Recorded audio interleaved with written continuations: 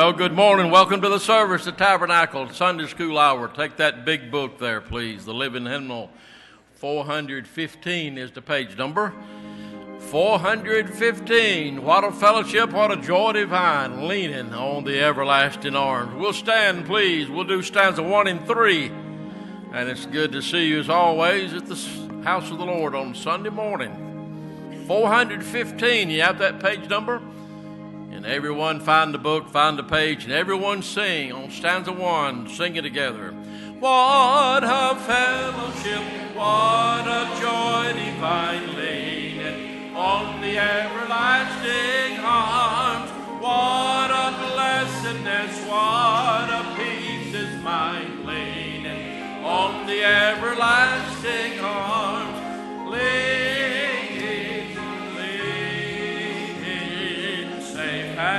secure from all alarm. Leaning, leaning, leaning on the everlasting arms. Stanza three together. What have I to dread? What have I to fear? Leaning on the everlasting arms. I have blessed peace with my Lord so near, leaning on the everlasting arms, leaning, leaning, safe and secure from all alarm, leaning, leaning, leaning on the everlasting arms. And thank you. You may be seated. Here's our pastor. All right. Good morning. How many are enjoying that cool weather out there? Isn't that good? Cool weather. I love fall. I do. I love fall.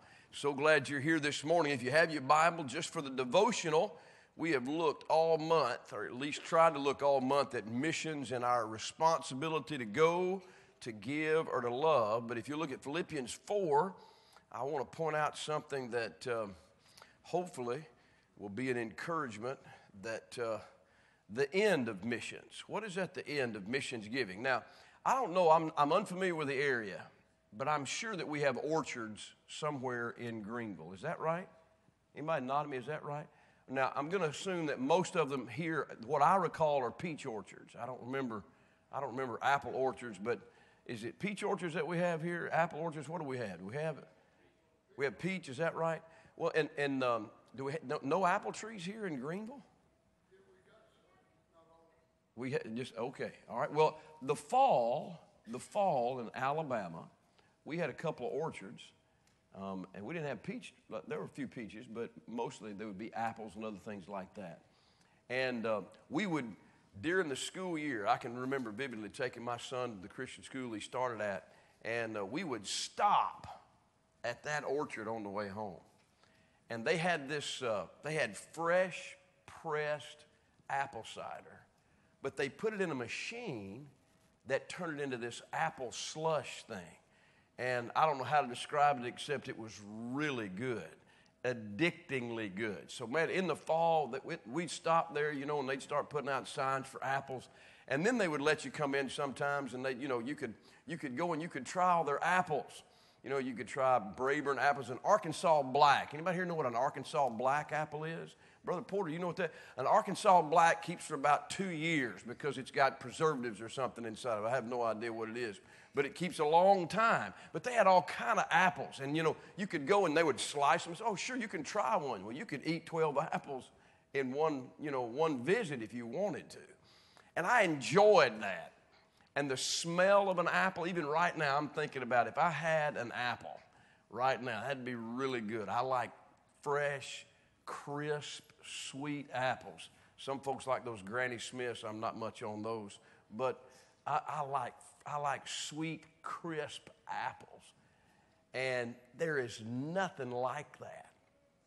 But you know, we have things today that are that are so so well done that uh, I was visiting a church and preaching, and um, I'd thrown my stuff down. I'm getting you know getting acclimated to the new quarters that I'm in, and And they had on the table that there all kind of food there, all kind of snacks and stuff. And then they had they had this big bowl of apples right in the middle. And I thought, praise the Lord, man. And I reached over and I grabbed one of those apples. And when I put it up, I, I honestly I got about that close. I looked down and I thought, something doesn't look right about that apple. And I started looking at it a little closer. I smelled up, didn't have a smell. And I thought, my, that's a, it, it was a fake apple. But it looked real. Now, honestly, I don't know how I would have explained to the pastor why he had a bite out of a fake apple at his parsonage. But I almost bit into it because I, I enjoy fruit. I mean, that's the culmination of all the planting, the growing, the, all the weeding, all, the, all that stuff. That's, that's the end result. It's the sweet reward. And this world is full of so many things that are just like a fake piece of fruit. You work your life for, or you work so hard to achieve, or to buy, or to gain. And, and in the end, really, when you, when you look at it after you take a bite out of it and you know, the fragrance is just not really there anymore and it's just not really satisfying. But look at Philippians 4 missions, the end of your missions giving, the end of our missions going, the end of loving other people. Paul writing, he says this in verse 17 Not because I desire a gift, but I desire fruit that may abound to your account. Now, not just one piece, but a lot of fruit. Um, we had some apple trees. I've told the story, and I, I, cut, I cut off. We planted so many fruit trees in our yard when we first moved to Ardmore and I slowly just cut them all down. And one year, one year, had one left, and somebody had taken a Christmas ornament little hook and they'd screwed it into one great big apple and hung it on our tree out there. Boy, it was just, they got the big laugh at church. Hey, preacher, saw an apple on your tree. Hallelujah. Well, you know, with my apple, my apple tree, if it, if it only produced one apple, it still wouldn't be very enjoyable. Here it says fruit that may abound. Sounds like a lot of fruit. And then he says in verse 18, But I have all in abound, I have, and am full, having received of Epaphroditus the things which are sent from you, an odor of a sweet smell, a sacrifice acceptable, well pleasing to God. Now, I know those two verses are back to back, but there's an odor, there's a fragrance, there's something there, and then there's fruit, there's something there that is tangible, but also something eternal. And here's just what I'd like to remind us of when we talk about giving to missions and going that there is a eternal reward of fruit that can abound to your account that there is no artificial substitute for.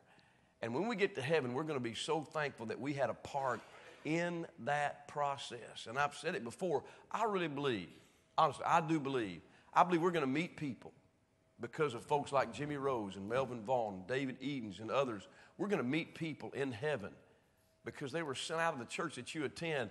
And you know what? I think there's going to be a fragrance of a sweet smell. And I think they're going to turn around and start introducing you to other people. I've heard many times people talk about, well, D.L. Moody must have a lot of crowns in heaven because he won two million souls. You know what I think D.L. Moody's going to do after he uh, gets his reward? I think he's going to turn around he's going to bring that shoe salesman up.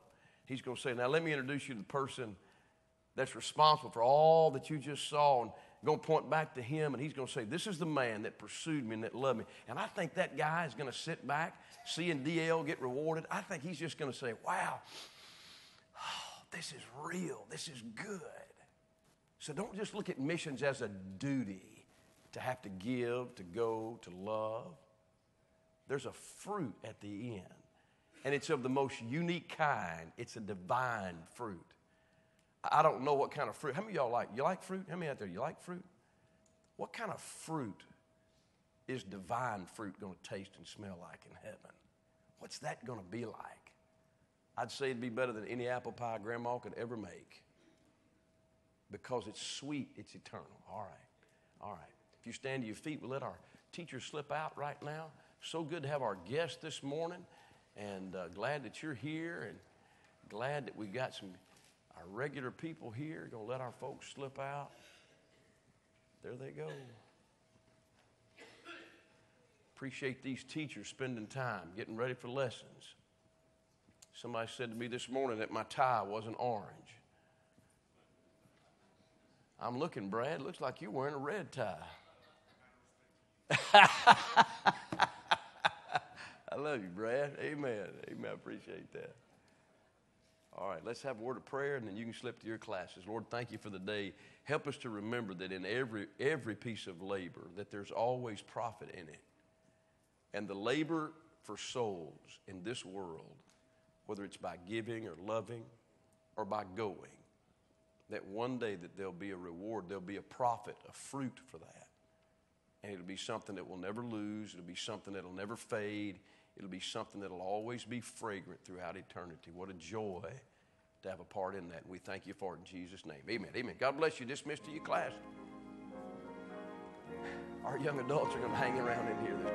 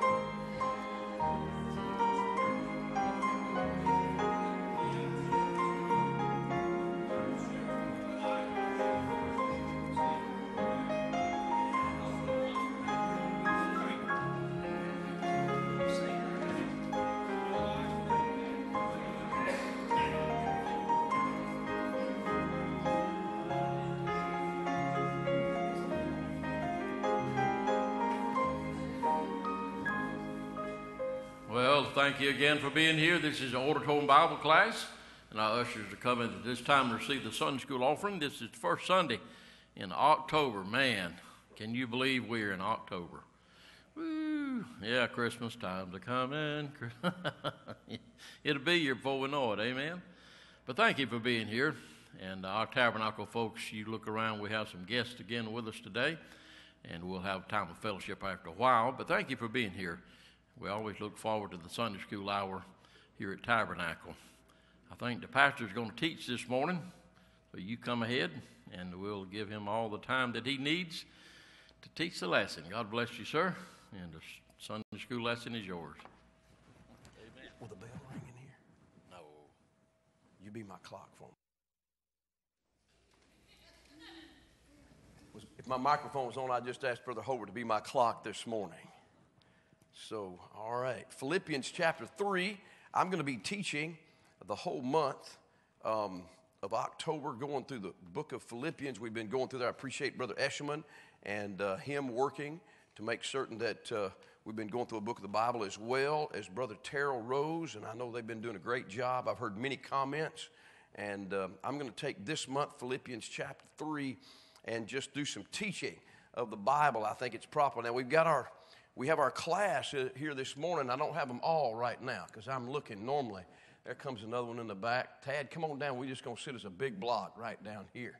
And um, several of our, our young adults, we call them, I guess, a young adult fellowship. And uh, I'm glad that they're here this morning. Um, normally, we start off with blessings in our class, ask people to give a testimony of a blessing. And uh, I'm just curious is there anybody in the auditorium that you had a unique blessing this week? That you'd like to make known? Is there anybody at all? All right, Brother Spanigal. And the preaching of Brother Willis and all the blessings that he brought down to the preaching of the gospel. In particular, he preached one night on, on a faith that works. And it was just a tremendous sermon. I thank the Lord for him for that blessing. Amen. Amen. Praise the Brother, we, uh, we suspended classes Friday night from the college and went over to the Pickens County camp meeting. And uh, Abraham Tillman's here. He's from Alabama. He'd never been to a camp meeting, and I was excited. First camp meeting, we got there, and, and a church from Zirconia, Zirconia Baptist Church. I, Zirconia sounds like someplace in the Bible. I don't have any idea how far away Zirconia is, but they started singing, and uh, then the service just kind of got we got people testifying, and, and, and by the time it was time for Brother Willis to preach, even close to preaching, he just got up and he said these. I'll never I hope I never forget these words. He said, Well, he said, Brother so and so told me never to sow seed when the wind is blowing. And man, there was just all kind of stuff going on, and nobody preached. And Abraham, on the way home from the thing, he said, Well, he said, Nobody preached tonight. I said, I'd never been to a camp meeting, nobody ever preached that before. Every camp meeting I've been to, they always preached. But uh, it was unique, and I was so glad that our college got to be there for that and uh, see and really hear so many good testimonies. They were so encouraging. Next to me, a lady stood up and talked about her dad passing on, another lady across the way, and then children that had been wayward that had come back to God, and just it was amazing. It was amazing. Brother Hale, you have your hand up back there.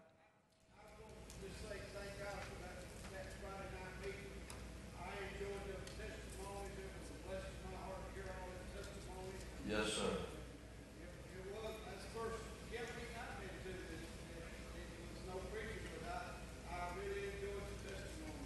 Yes, sir. It was, it was, it was really good. And really, um, another thing Brother Willis said, he said that, he said that there is always, I think he may have quoted Jack Shook. He said, uh, he may have said, Pastor Shook used to say, or maybe, I don't know who he said, but he said that there's always somebody that holds a key to the service.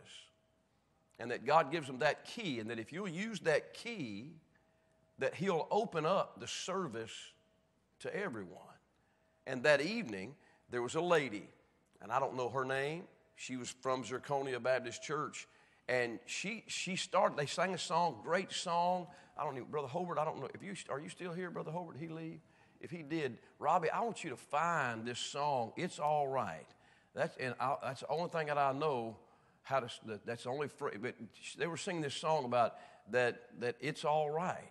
And she stopped after that first verse and started testifying about how that she had been raised in camp meeting, talked about Buck Huntley, and started naming other people. And uh, I really believe if there was such a key, I think that her testifying in between those verses sort of just opened up that song. And then after that, I don't know how many times in a row they sang that song. Brother Hale, what, three or four times?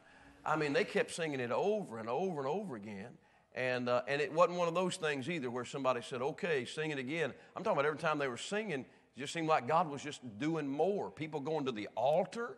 So it wasn't being, you know, something that was being contrived. God was just using that song. And then there was another song uh, that I've never heard either. Um, and I think one of Jack Shook's granddaughters was singing in that, and it was just a remarkable thing. And uh, I, I, like to be where God is. And boy, God was there. And uh, I just wished I could have had my whole family there to see all that. Um, nobody, nobody ran the aisle. Nobody swung from the well, they don't have chandeliers out there. Nobody swung from the rafters. But I'm telling you right now, God was right there in that place Friday night. And uh, Brother Willis is just such a dear preacher friend of mine. I love him, and I appreciate that. Well, if I don't start teaching, so it's, it's, it's two minutes after 10. So we stop at, does anybody know? 1045. Okay. Since Brother Hobart's not here, who's going to be my watchkeeper for me? I need to know at 20 minutes till. I want somebody to wave their hand at me. Who will do that for me? Okay, Robbie, I pick you. All right, thank you, Rob. Do you have a, do you have a watch, Robbie?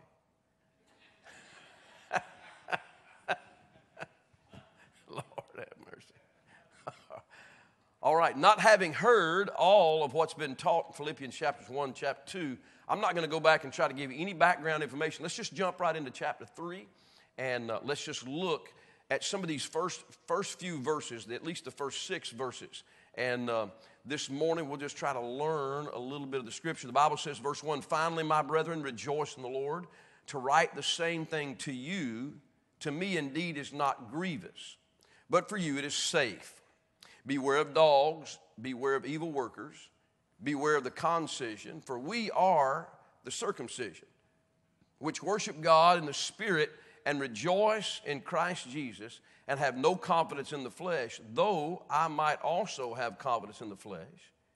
If any other man thinketh that he hath whereof that he might trust in the flesh, I more. And then he gives a long list circumcised the eighth day of the stock of Israel, of the tribe of Benjamin, and Hebrew of the Hebrews, as touching the law, a Pharisee, concerning zeal, persecuting the church, touching the righteousness which is in the law, blameless. And it needs to be read. We won't look at it today, but what things were gained to me, those I counted loss for Christ. Lord, help me this morning to be able to teach your people the way you would have them taught and open our understanding to your scripture, Lord. We're trying to follow the command to study, to show thyself approved unto God. And Lord, we want your approval. We want to live a life consistent with what you, you love and the things that you abhor, the things that you would stand in opposition to. Lord, we want to take the same position. And Lord, I pray you'd help us in Jesus' name. Amen. Um, verse number one Let's save that for just a moment. But go to verse number two. Look, it's very, very unusual. Beware, beware, beware. Three times.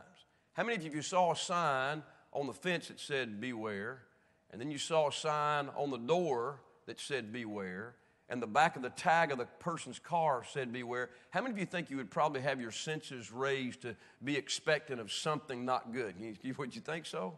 So beware. And the beware here, he's writing to the Philippian church, and I've heard it said that there's nothing negative in the book of Philippians. This is negative. Three times, beware, and he says three things to beware of. And if you were to really try to define that, I think he's saying beware or a danger of Christianity is, if you'd write out beside verse 2, worldliness. Worldliness. That there is a danger of worldliness that will spoil your relationship with God. And the reason I say that is, first thing he says is beware of dogs. All right, beware. How many, how many people don't like dogs? Anybody here doesn't like dogs? I'm just curious. Abraham doesn't like dogs. Anybody else doesn't like dogs? Mrs. Miller doesn't like dogs. Miss Chuck, Brother Chuck. Anybody else doesn't like dogs? Brother San, uh, Brother Catapago, all right? How many people don't like cats? Would you raise your hand? All right. You'd almost think God would say beware of cats, but he says beware of dogs, and here's why. Beware of dogs and here's, if you'll put a little mark right there and go, if you would, to 2 Peter 2. Now, I don't know how you teach in the auditorium always, but this is the way I teach comparing Scripture. Look at 2 Peter chapter 2.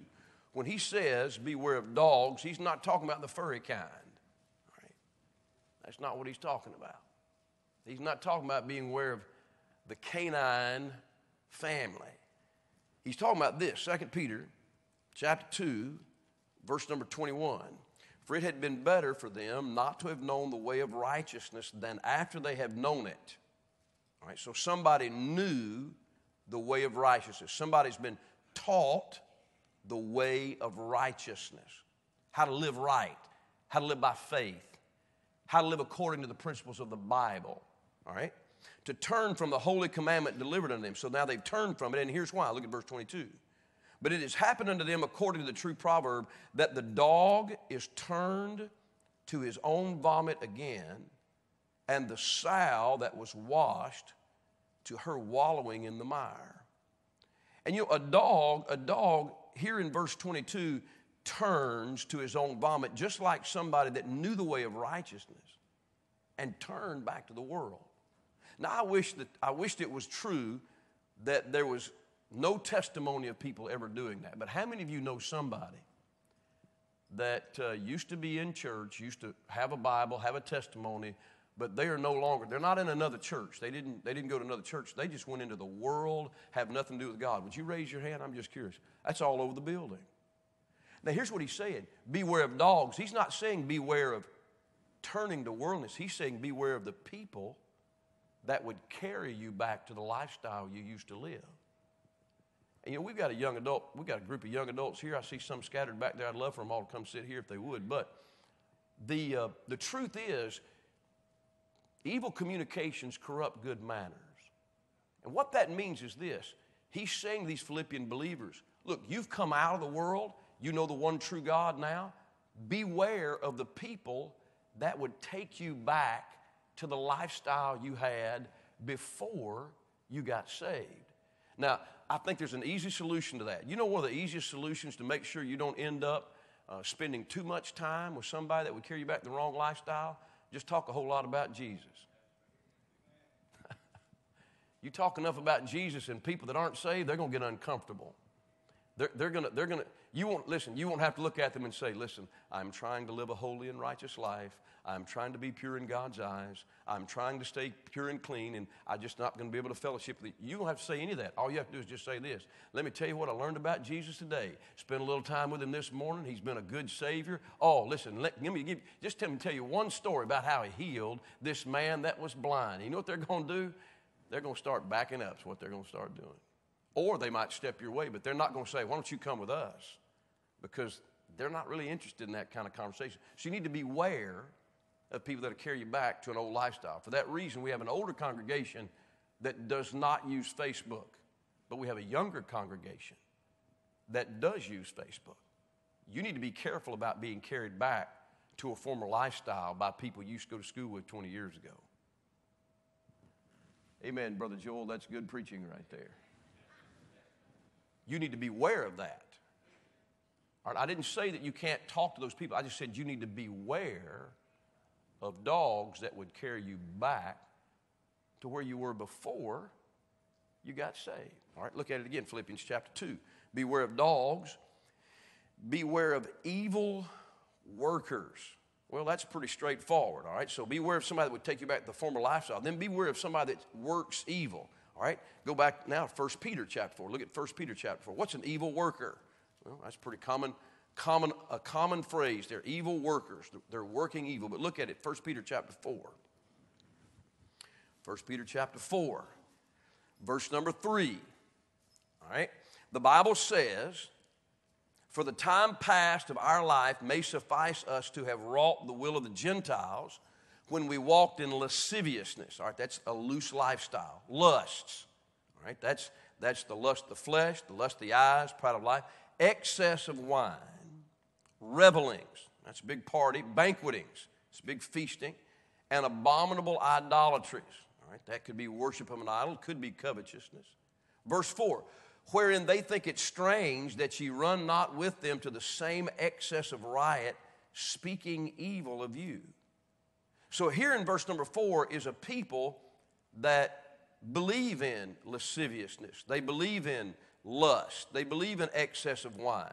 They, they are partakers of revelings. They're partakers of banquetings. They're partakers of idolatries. And it says they think it strange that you run not with them to the same excess of riot, speaking evil of you. These are evil workers. These are people that, that work evil in their life, all right? And you need to be aware of those people. Now, I think we ought to be a witness. I think we ought to touch the world. I think Jesus was a friend of sinners. But I think you need to be aware of evil workers. For instance, if you have a set of friends that like to drink on the weekend and they invite you over, maybe what you ought to do is invite them to a church service and see them other than the weekend when they might be drinking and having such and such a good time. You need to be wary of those kind of people. All right, we have some younger people again here. They're younger people. If there is a group of people, they have a, a loose lifestyle, like to listen to the wrong kind of music, wear the wrong kind of clothes. All right, you need to beware of evil workers. They have, they have a different set of moral standards. Now, I'm going to say this to all of us. If, if you're born again, if you're born again, the Bible's clear. You should not have physical relations with anybody outside of the marriage covenant. It doesn't matter what the world, the world may say an affair is okay as long as your wife or your husband doesn't find out about it. That may be the world's philosophy, but that is a sin in the Bible. That's called fornication and adultery, all right? All right, well, here's what you need to be careful of. You need to be careful of being around people then that think immorality is okay, that think drinking is okay, that think that, okay, I can do all these things and they work them. And the reason you need to be careful of that is because if you get around those people in their environment, then it can bend you that direction. And it'll take you away from fellowship with God. Come on, you folks that are older, couldn't you agree with me? If you're in fellowship with the world, it, you can't be in fellowship with God. You may love the Lord, you may have the right Bible, you may even have a good heart, but the Bible says that friendship with the world is enmity with God. Now, that doesn't mean you can't be a friend to sinners. I can be a friend to sinners. I can talk with them. I can try to befriend genuine friend. I'm not talking about pseudo friendship. But the Bible's very clear if I am a friend of the world, that system, evil working. I can't be the friend of God. They're, they're at opposite ends of the spectrum. I lose my fellowship with God. So he's warning them. Okay, back again, verse number two. All right? And then he says this, and this is strange wording in the Bible Beware of dogs. People take you back that, that former lifestyle. Beware of evil workers, all right? Folks that work evil on a regular basis, all right? And then he says, Beware of the concision, all right? All right, concision. If you look at the next verse, he says, For we are the circumcision. Now, all that means is this that's a, in, in, in, in a medical terminology, that is a cutting away, all right? So he says, Beware of the concision. Beware of people that have no cutting away, that have no separation. If you look at 2 Timothy chapter 3, maybe this will help shed a little light on. Look at 2 Timothy chapter 3.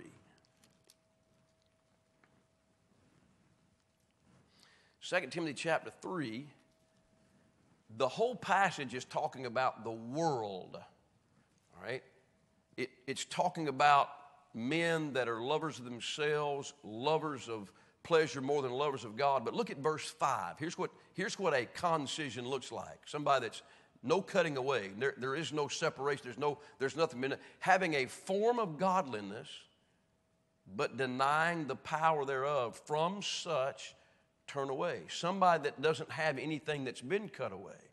Now, that leads me to say this, and I, am just, this, this, is where we are in the Bible, okay?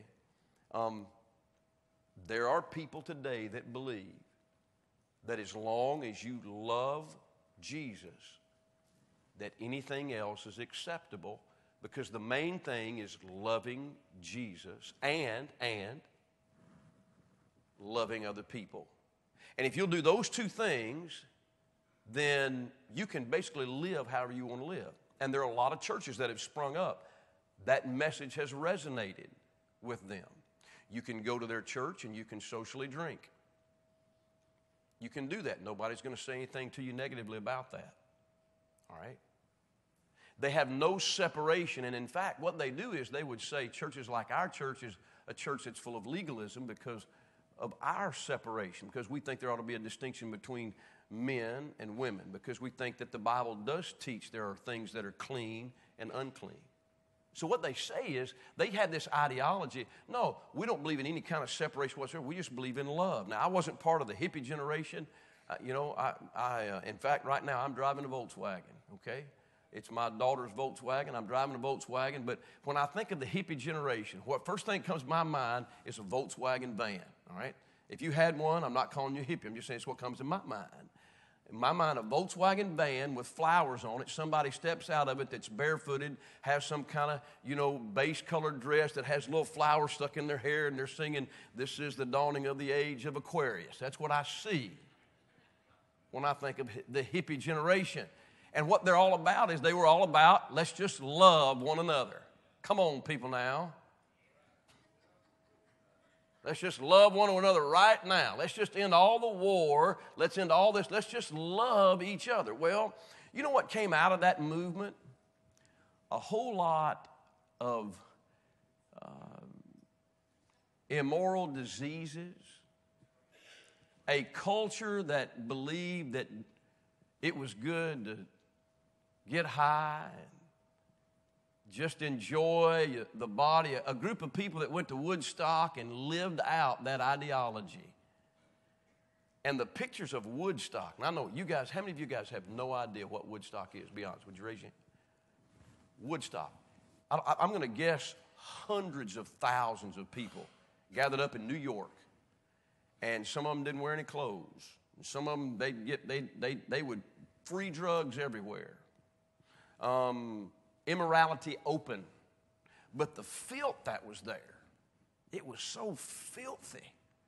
The pictures I've seen where they had places for people to, to go and, and use the restrooms, it was so filthy. And then the things that happened out of all that. You know, this, this idea, well, it's just about love, so we're just not going to have any kind of standard of cutting away. That, that did not turn out well for that generation. And you know, that generation struggled with things, and I think continue to struggle with things. The baby boomer generation, they continue to struggle with things afterwards because of what they had done back in their past. And the Bible's very clear. You can have a form of godliness but have no power, and that's because you're not connected to God. And listen, now, I, whether people want to agree with this or not, Jesus Christ, all right, I'm not preaching, I'm just teaching. Jesus Christ was holy, harmless, undefiled, separate from sinners. So if you want a fellowship with the Jesus of the Bible, he was holy and separate from sin. Now, people may not agree with that, but that's who he was. In fact, we had, we, I've heard of, of people that uh, take issue with saying anything's right or wrong, and, and in doing so, what they do is they allow, they give an allowance to live however you want to live. Jesus said, If you love me, can you finish this for me? Keep my what? Keep my commandments. All right, and he says, My commandments aren't grievous. I'm not putting something on you that is hard to bear. I'm doing it for your benefit.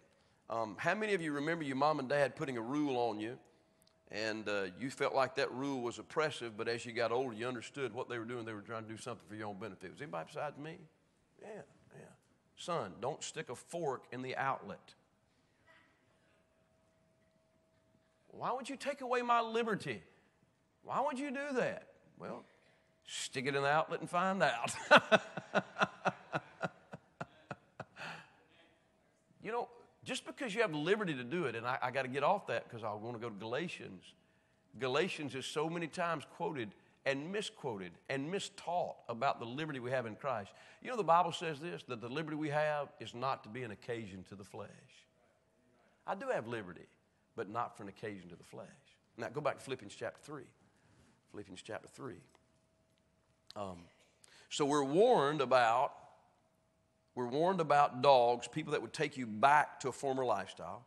You're warned about evil workers, people that have a lifestyle of working evil. And then you're warned about people that have no degree of separation whatsoever.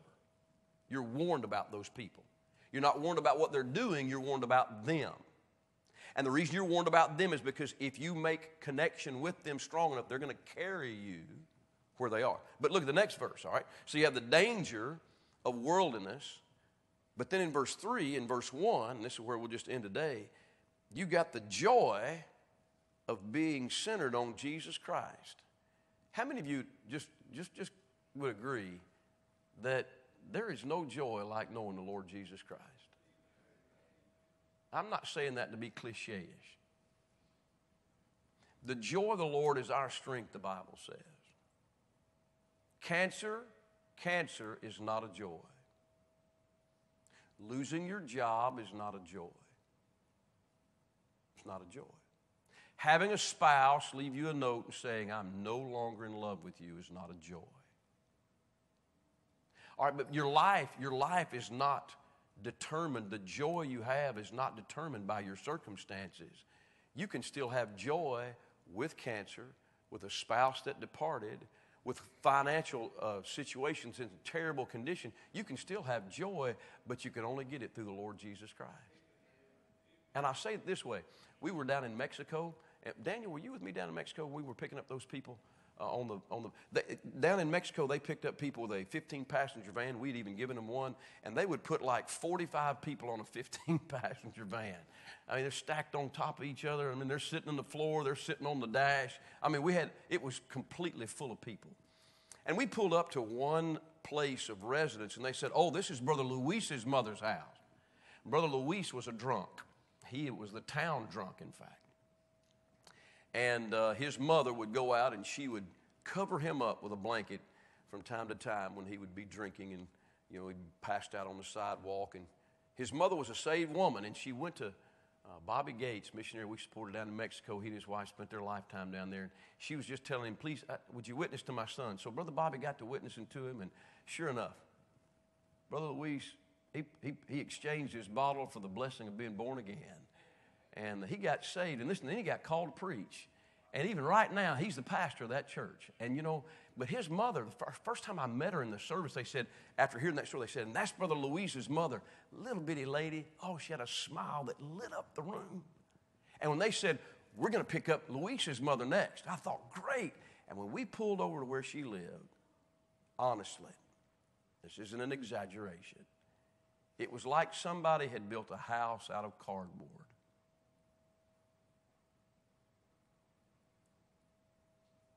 In a little place that they called a ranch, which was more or less a very poor, poor subdivision in Mexico.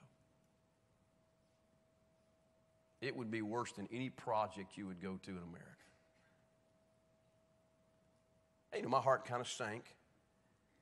And then when she came out of the entryway into her little cardboard house, she had the smile that lit up the world. And I'm looking at her. She's walking out, probably dirt. Listen, dirt outside on the floor, on the outside floor. Inside, probably the same thing. And, and she comes out, and she's got this beaming smile. And it was, it was just like God said, "All that stuff you have will never make you happy. Look how happy that lady is right there." There's a joy in being centered on Christ. And look at it. Now, this is great, and this is right in the passage. Verse number one Finally, my brethren, rejoice. Can somebody finish those next three words for me? Rejoice in the stock market, rejoice in the election, rejoice in the outcome of last night's game. Come on, what does it say? Rejoice where? It said, rejoice in your health. No. No, it, that's not what it's teaching. Rejoice in the Lord. In fact, that word finally, it, I, I, need to give you this because you need to look it up. There, there are six times, or excuse me, five times that Paul says finally. Let me give them to you. He says finally, in conclusion. All right, the ultimate statement I've got to make. In 2 Corinthians 13 11, he says, finally, brethren, and he gives a great command in, in Ephesians 6:10, finally, my brethren, and he gives a great encouragement. Here in Philippians 3 1, finally, my brethren, rejoice in the Lord. He says it again in Philippians 4 8, finally, brethren. He tells you what to think on. And then in 2 Thessalonians 3:1, he says, finally, brethren, pray for us. Five times, if you just went through your Bible, the five times that Paul said finally, be a great Sunday school lesson. But here he's saying, finally, my brethren, rejoice in the Lord. Rejoice in the Lord. Now, it's important. Look at the verse above it, chapter 2 and verse 20. Because for the work of Christ, he was nigh unto death. That's Epaphroditus. So Epaphroditus was nigh to death. How many of y'all think that means he was close to dying? Would you, would you agree? So he's close to dying. Why? Because he's been working for the Lord. Not regarding his life to supply your lack of service to him. So Epaphroditus, as sick as he can be, but then Paul turns around in the very next verse and says, Finally, my brethren, rejoice in the Lord. You've got to find your joy in the Lord. Look at it again. And it, it, this is something that's repeated. Um, the Bible says in, in verse 7 For what things were count to me, those I counted loss for Christ. Yea, doubtless, and I count all things but loss for the excellency of knowledge Jesus Christ my Lord, for whom I have suffered the loss of all things and do count them but dung, that I may win Christ and be found in him, not having my own righteousness, which is through the, uh, the law, but that which is through the faith of Christ, the righteousness which is of God by faith, that I may know him and the power of his resurrection and the fellowship of his suffering. Paul begins talking about how much how important it is for his relationship for Jesus Christ to be the main thing, not his health, not his achievements, not what he has in the bank, but his relationship with the Lord. And that's because no matter what happens in life, your relationship with the Lord can give you a joy that nothing else can give you. Amen. Amen. Amen. Amen. Look at there, chapter 4, verse 4. I don't want to jump over in somebody else's verse, but I'm going to. 4 4. Look what it says Rejoice always, and again I say rejoice. Well, that'd be a good camp meeting verse almost, you know, just we want to get people rejoicing, and that's a good thing, having people be able to worship, but it doesn't say just rejoice. Come on, chapter 4, verse 4, what does it say? Rejoice where? In the Lord always. And again, I say what? My granddaddy used to say it this way. Granddaddy say, God said rejoice twice for those people that are hard headed. You need to rejoice in the Lord not in the condition of your car, not in your life insurance policy or your health insurance policy. Rejoice in the Lord. He says, Rejoice in the Lord always.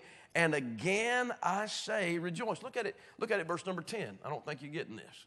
I'm looking at our young adults. I don't think you get it. Look at verse 10.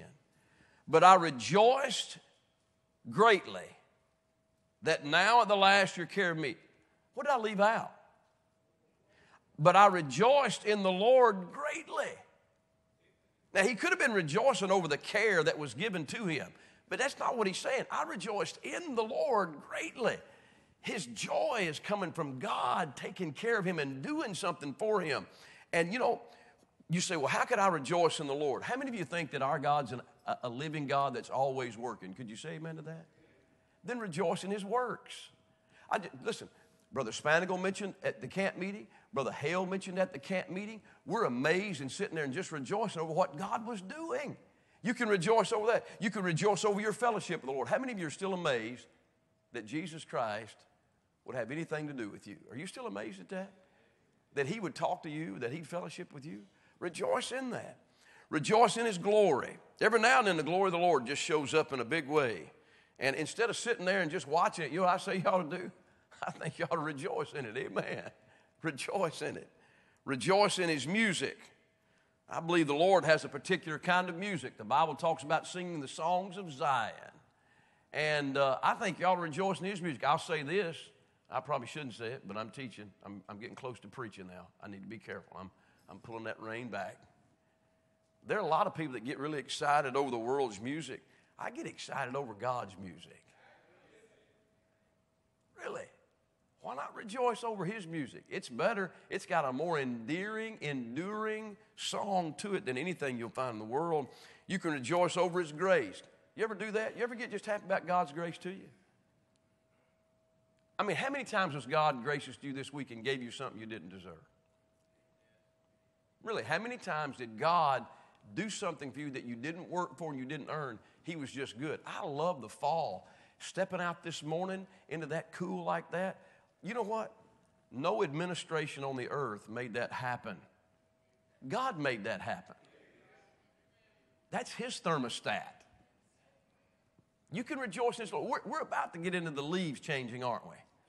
I'm sure if they could, they would love to claim somehow that evolution knows how to change the color of the leaves, but I've never heard anybody state anything that makes any sense about that. But you know what God does? God, God can take a, the same species, a maple tree, and this one will be red, and this one will be yellow, and this one will be orange. And you know what I say? I say, Hallelujah, what a great God they can do that. I look at the changing colors and, and I see the fall, and it's just an encouragement. You know, in some ways, um, when I was a young boy, I wanted fall to come because it meant the end of grass cutting season. And I, I don't know if that's the right reason, but to enjoy creation. I mean, think about what we did. The world stopped. The world stopped to watch the totality of the eclipse of the sun. People came to Greenville and sat there for probably what, two minutes and 38 seconds? Is that about right? Two minutes and 38 seconds to watch, and then as the sun was blotted out, all of a sudden the temperature dropped 10, 15 degrees, and the crickets are chirping and all that good stuff like that. And you know, and everybody's amazed. God does that every single evening. He sends the sun down, He brings it back up again in the morning. He's the one that made the sun. Good thing He didn't make the moon square. We would not have been able to see totality, wouldn't we? Just fortuitous that they're the same size that they would be able to block out one another. Rejoice in His creation. You can sit and you can see what God is doing, and instead of being caught up in everything else, find some joy in His creation. The other day, my wife came to me and she said, Joel, she said, I just saw a baby deer walking across our yard in the back. She said, It was so pretty. I said, Well, leave it alone. And I'm thinking, I'm going to get my gun and I'm going to wait on something else to come through my backyard. I rejoice when I eat God's creation. But she said it was so pretty. We've got hummingbirds coming to our house. And I got so sick and tired of hearing my family talk about it. Because they'd say, oh, the hummingbirds are out there. And I'd go out there and look, no hummingbird. We got one hanging in the back. We got two hummingbird feeders in the front. All this beautiful color, this thing that the Army and the Air Force have tried to mimic in its ability, in its, aer- its aeronautical ability is unmatched. And this bird zipping around and they're saying, oh, there it was. And I'd look over there, no bird. And then finally I saw one. I said, where? They said, right there. You see it? I said, where? They said, right there. You see it? I said, there ain't no bird there. But we sit, we're amazed looking at that. I'm, why not be able to find some joy in the Lord, in His creation, in His work, in His ministry? You understand, if you find joy there, you know what's true about that? There'll be an unending amount of joy you can have because His work is always going forward. Now, that doesn't mean that your, yours is always in a great state, but it does mean that you can find joy in Him. Now, the joy in Christ centeredness, go back to chapter 3. All right, chapter 3. And it says this number, so first of all, they're, they're, they're joying in the, rejoicing in the Lord, rejoicing there. Look at verse number 3. For we are the circumcision which worship God in the Spirit. you know, if you worship a song, you're just not going to get the same joy out of that when you worship the God of the song. And what I mean by that is this worship is something that Christians get to do that the world really doesn't understand. They don't understand. Now, I think they worship in stadiums now. That's what I, I believe that. I believe they worship in stadiums, and, and I, I love football. I watch it. I, I still, but they, they boy, they're, they're worshiping in the stadiums, and they've got their orchestras, and they're, they have their alumni associations, and they call each other the same family, brothers. Oh, you're, you're of the Bama Nation, the Clemson Nation. This is my brother, and woo, hallelujah, there he goes. Hey, man, woo, there he goes. Man. That's where their tithe goes. That's where their faith promise goes. They give to associations. They buy tickets that are expensive to get in. I believe that's where people worship. But you know, it only lasts a little while. I'll make a confession. Last night, Alabama came on so late. It was ridiculous. It was a 9 10 game. Come on, if you're going to play football, play before 10 o'clock. You say, well, you're just old. No, I'm just, it's ridiculous. 9 10. I wanted to watch the game, and I'm trying to watch the game. But you know what I kept finding myself doing? Waking up to see the game. And we were winning in a big way. I should have been happy, but I was tired. And then I, listen, I, I lifted up my eyes one time and I, I looked, and it was the fourth quarter, and we were winning big. And I just decided I just don't care anymore. And I went to bed. It's short lived. Now, if we'd have been getting beat by the same amount, I'd probably go to bed anyway. Isn't that strange? You know, you're talking about men being strange. Men think if they walk out of a room while two other teams are playing in a location that they're not there, that somehow that's going to make things better.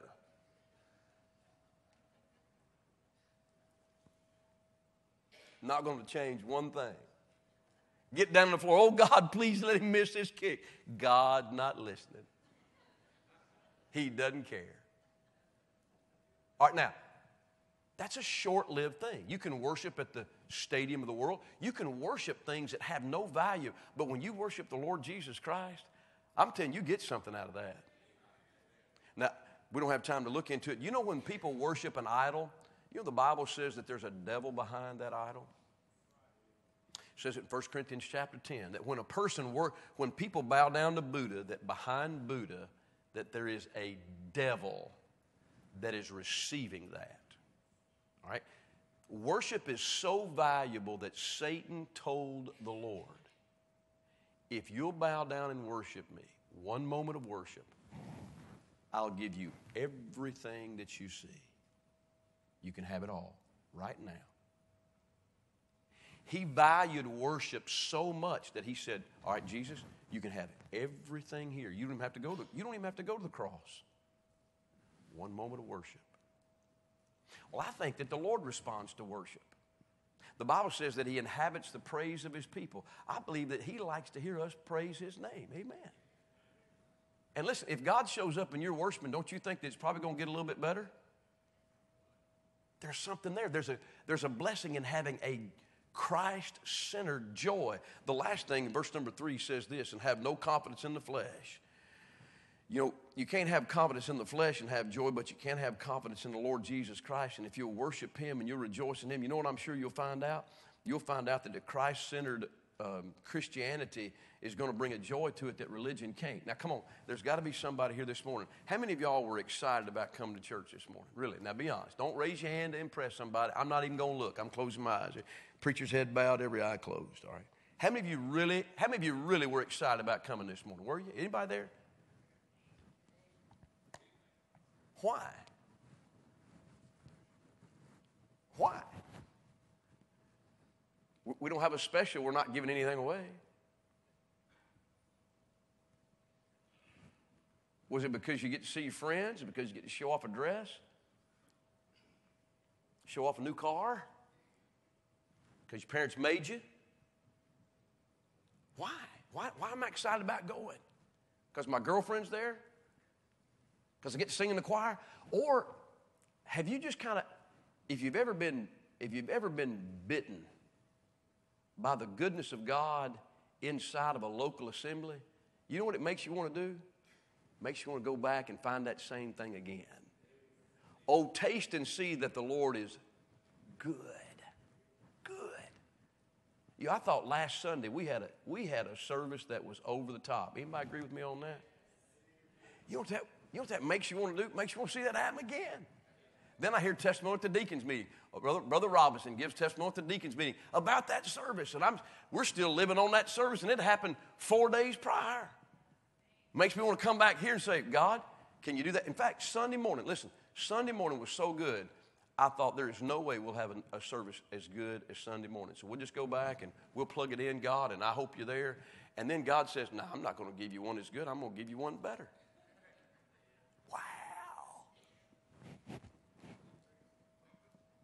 You're going to get that from worshiping Him. All right. Robbie, you waving at me? Is it time? All right. Is it time? It's time, Brother Holt? Okay. All right. Lord, thank you.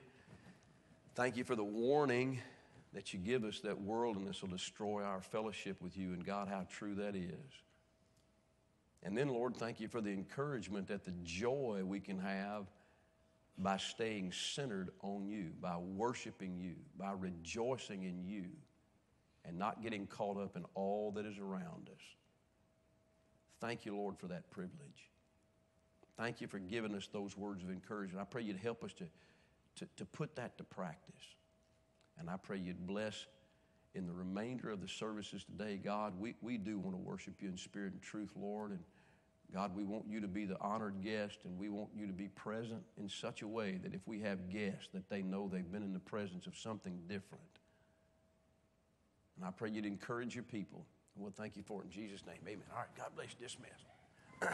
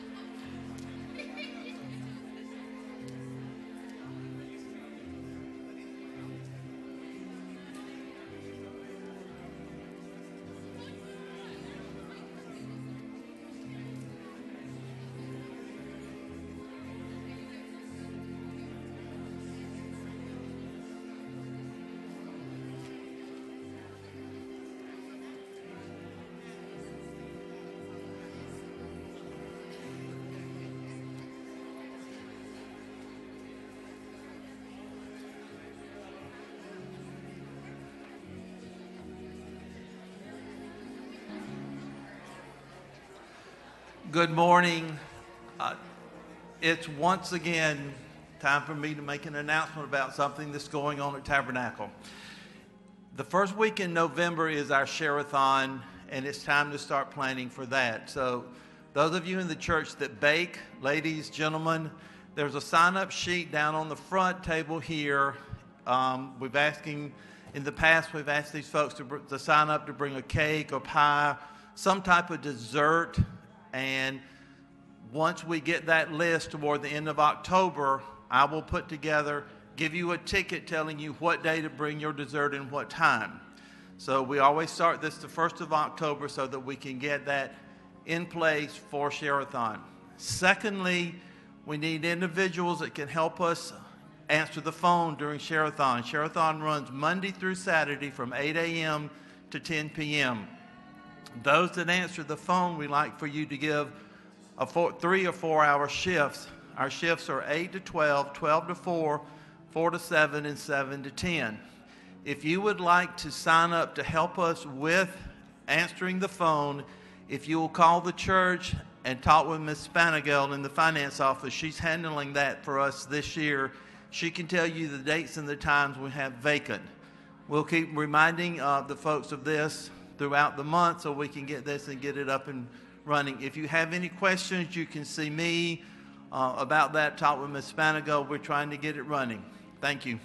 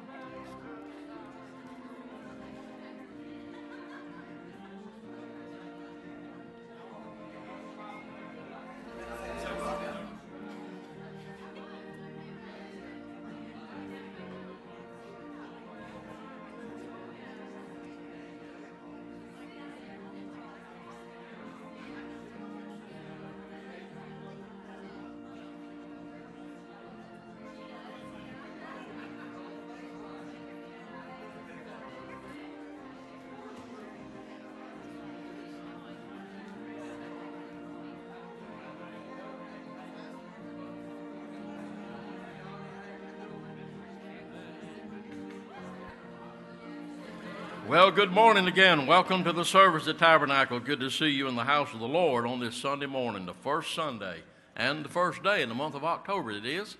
And we appreciate the good weather outside. Thank you for being here. And let's stand, please. We'll sing 157 in the living hymnal, 157 in the living hymnal. The way of the cross leads home. Very familiar song. Let's all stand, please. Everybody get a hymn book close by. 157 is the page number. Way of the Cross. You have that page number? Choir and congregation will sing all three stanzas. Stanza one lifted together. I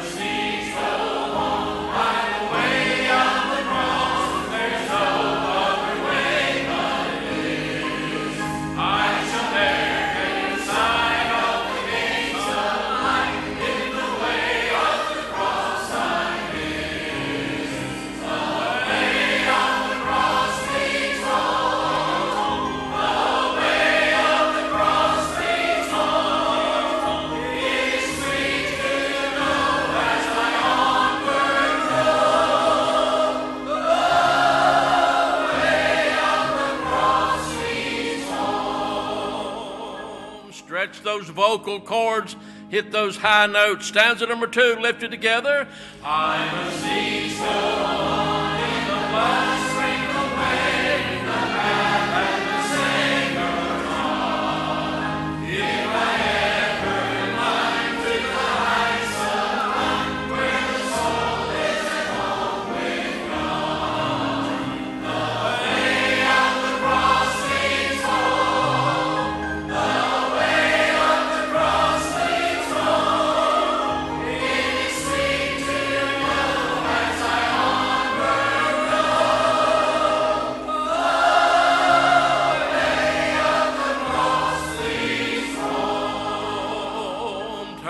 Volume up a little bit. Stanza three, lifted together.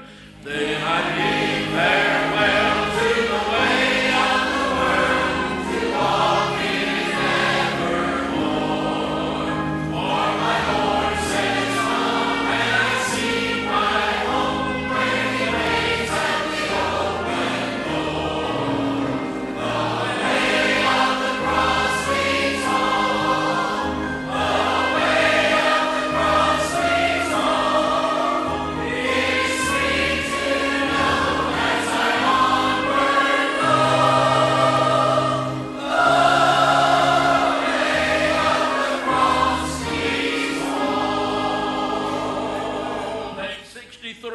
several stanzas down at the cross where my Savior died. Glory to his name. Page 63, let's lift it on stanza one. Down at the cross where my Savior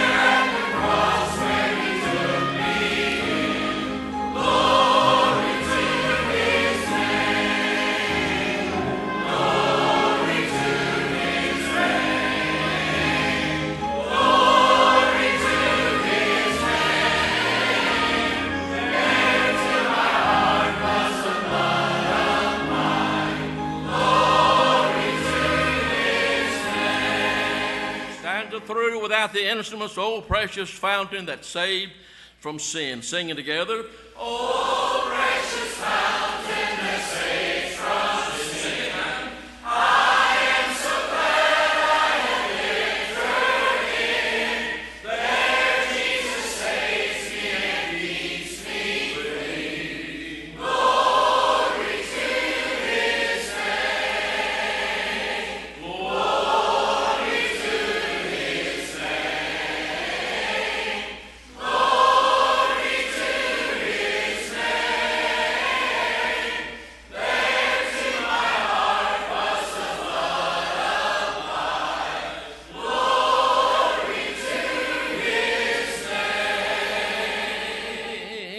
to this fountain. The instruments, join us, please. Come to this fountain, so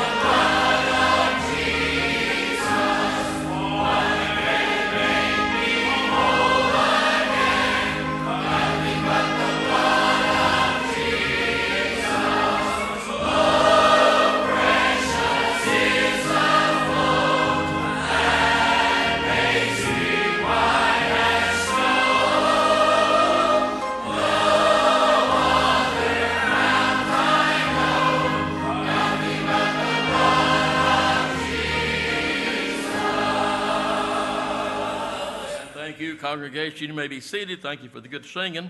Choir remain standing, please. We're going to sing in just a moment, page 288 in the old church hymnal. He promised never to leave me, never to leave me alone. Let me say just a word. I have some of these uh, brochures around. October is Pastor Appreciation Month. I'll read this. If you would like to give Pastor Logan a card, you may personally hand it to him or place it in the basket. We have a basket over to my left. We have one also in the vestibule for the whole month of October, Pastor Appreciation Month. And we'll collect these after each service, and we'll have a food and fellowship time on October the 22nd after the evening service in the cafeteria. And we'll have a time of fellowship and recognizing the pastor in appreciation. We're glad the Lord sent him our way. Amen? Amen. Appreciate Pastor Logan and his family, and we love and appreciate them in the Lord. We'll sing now at this time. No choir practice this afternoon. Keep that in mind. If you sing in the choir, be here tonight about 10 minutes till the hour. We'll get started maybe a minute or so early, and we'll come on live at 6 p.m. tonight. Choir singing 288, Never Alone.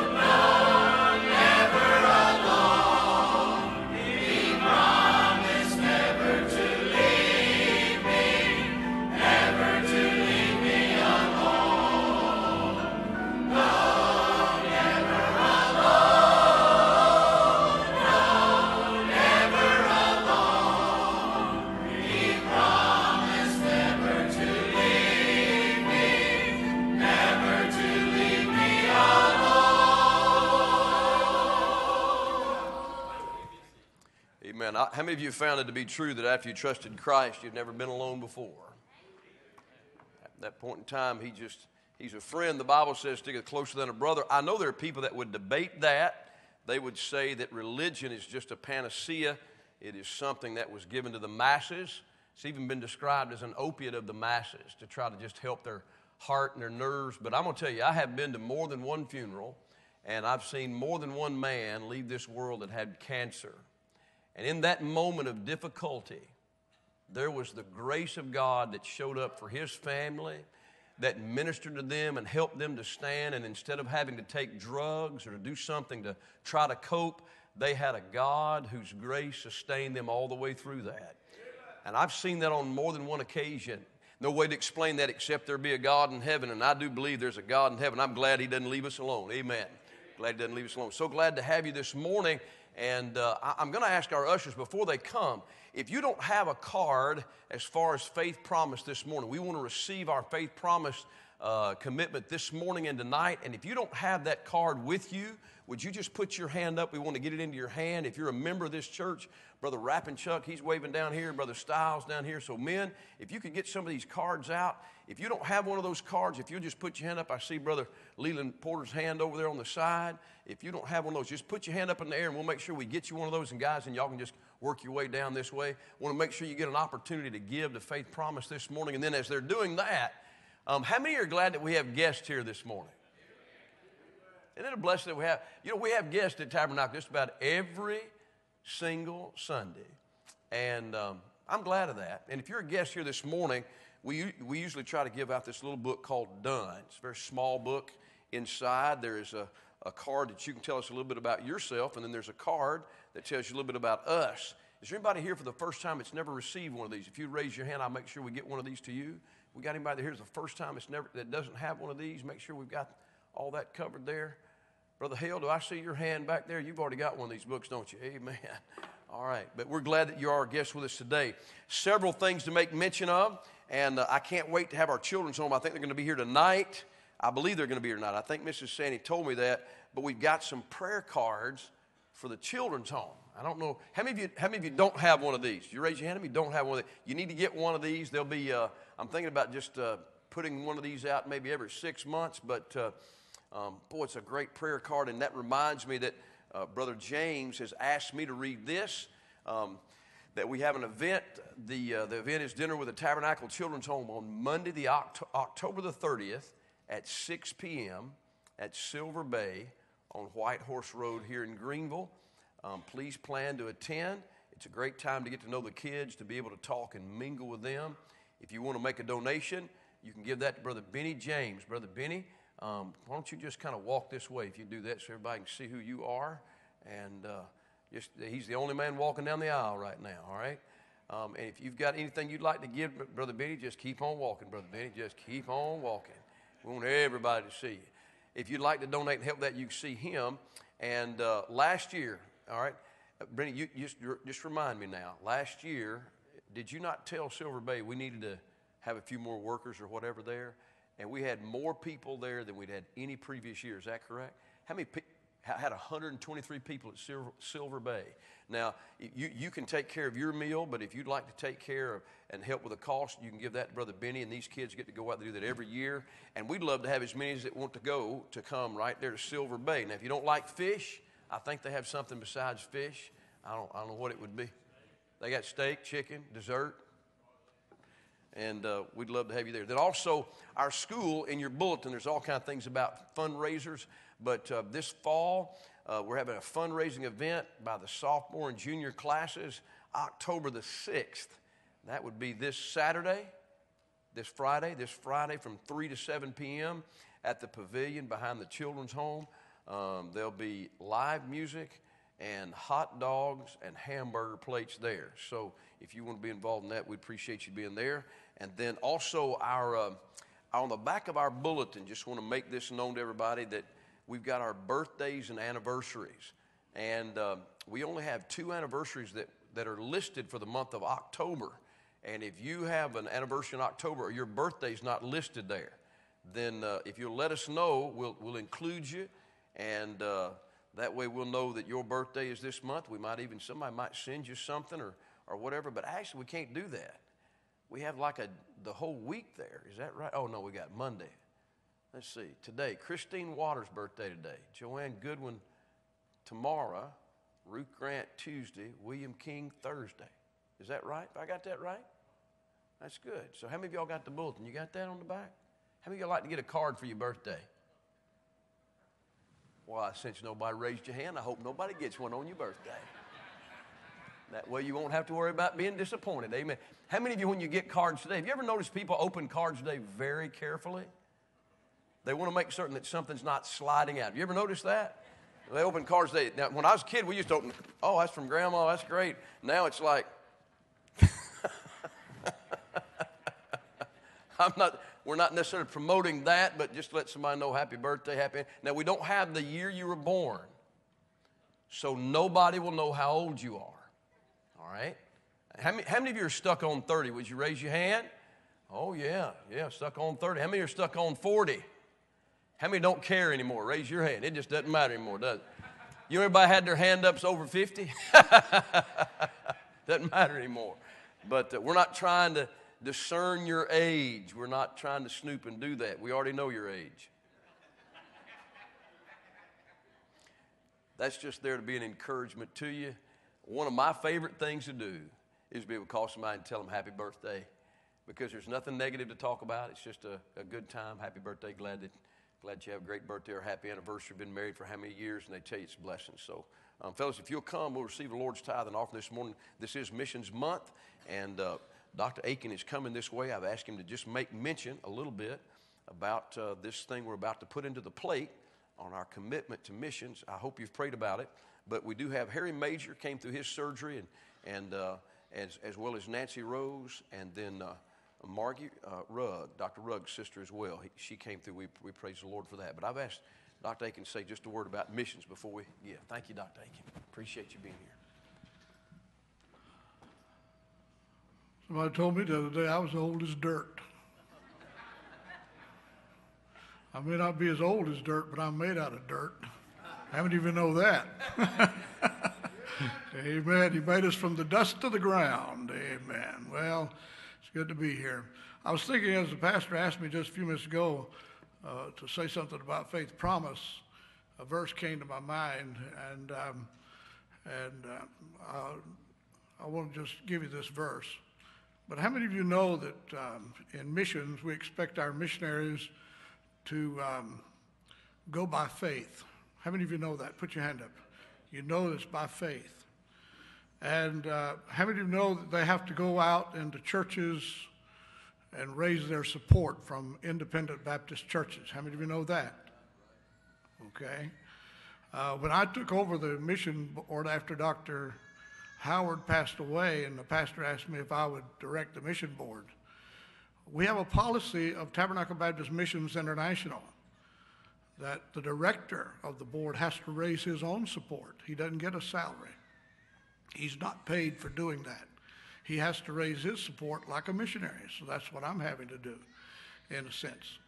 And, uh, and every missionary under our board has to go by faith.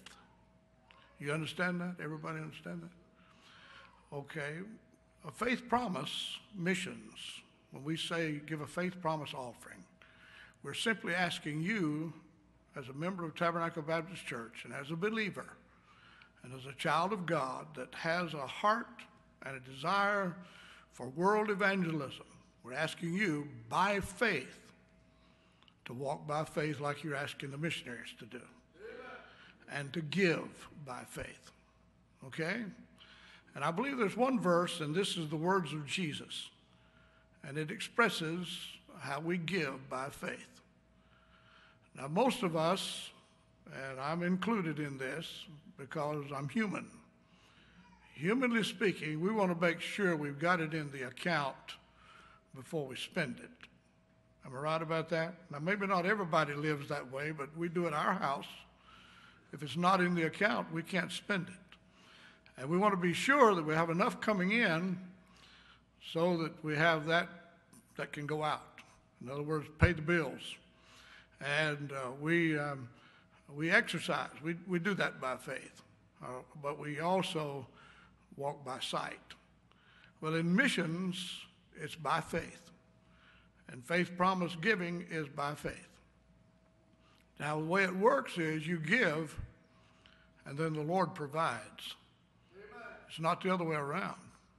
The Lord provides, then you give. Now, you give by faith as you're asking the missionaries to go by faith. And so you pray and you ask God what He would have you to give to missions by faith, whatever it is. And uh, then you give it.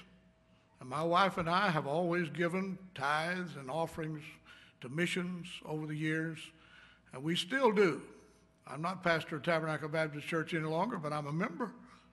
And so as a member, I tithe to this church. But I also give into the mission program. I'm a missionary. In essence, I'm a missionary, but I give just like uh, you do into missions. Every month, every week, actually. My wife and I, I write a check every week. I have it right here, and I'll put that in a moment. And part of that check is missions, and the other part is tithes to Tabernacle Baptist Church. Do that every week. And we do that by faith. We don't necessarily sit down and figure up, and I, let's, see if, let's see if I've got this. We just ask the Lord, and He lays a figure on our heart. Then we, uh, we write that on the card, and we put it in the offering pan. I put mine in Wednesday night. And uh, I was at the service, and I had it, and so I just dropped it in the offering pan on Wednesday night. And I put on that card what the Lord had laid on my heart to give for missions for this coming year. So that's what we're asking you to do as well. By faith, trust in the Lord to supply the need. Why don't you just trust God and prove God? And ask God what He'd have you to do, and whatever the figure He puts on your heart and on your mind, then you give that to missions on a weekly or a monthly basis, or however you uh, normally give or uh, can give in that way. And then just trust God to supply the need. You give first, and then trust the Lord to provide. Now, here's the verse Luke 6:38. What's the first word? Can you say it? Give. And it shall be given unto you. Not given unto you and then you give, but you give and then it'll be given unto you. God will provide. And God uses you and I to provide for missions. We don't have yard sales, we don't have cake walks, we don't have festivals to provide. We're dependent on God's people by faith, obedient to God, giving what the Lord lays upon your heart. Now, let me read the verse and I'm done. Give, and it shall be given unto you. Good measure, pressed down, shaken together, and running over. Now, I don't know about you, but I like those kinds of blessings. Amen. Amen. I like the running over part. Amen. Running over. Shall men give into your bosom? For with the same measure that ye meet, or with the same measure that you give, withal it shall be measured to you again. And I often say on this verse, and I preach on this verse uh, in meetings sometime, but I often say in this verse, I'll guarantee you, your shovel is not as big as God's. If you shovel it out, you'll never outgive the Lord's shovel. I promise you. You'll never outgive God. And my wife and I have proved that. Others of you that are here today, you've proved that by obedience to the Lord. And so if you have not prayed, you should pray and then obediently give what the Lord would have you to give to missions. And here at Tabernacle now, our mission giving that comes in on a weekly basis or monthly basis uh, supports our missionaries. And so the more that the Lord gives us through your faith giving, then the more missionaries we can take on. And we can add to our mission giving. And that's what the Lord would have us to do is continue to reach out, continue to go forward, continue to move out, and reaching the world with the gospel of Christ. Amen. Let's go to the Lord in prayer. Heavenly Father, help us to faithfully pray and faithfully give and faithfully go in missions. And I pray now that you'll speak to hearts concerning this matter of giving to missions and that, Lord, they'll be obedient to you to give that which you will have laid upon their heart to give into the work of world evangelism as we endeavor to reach the world with the gospel of Christ. Now bless and sanctify this offering. I pray, Lord, uh, increase our giving and increase our blessing, we pray. In Jesus' name, amen.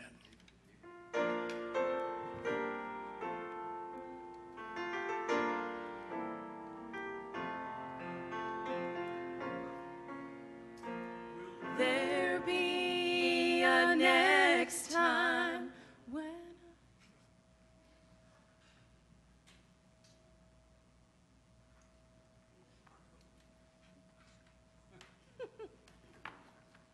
While they're getting that together, I just want to say, it's, isn't it good to have Robbie's family here with us today?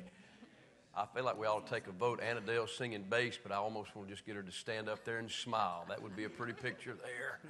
That would be, and uh, glad that they're here to sing today. So, Robbie, y'all sing. We'll that. try it again. How about that? Right ahead.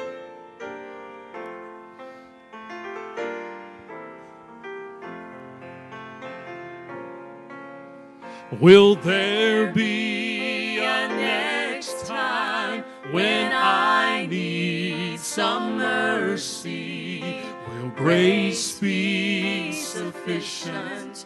Oh, how will the next time my heart is broken?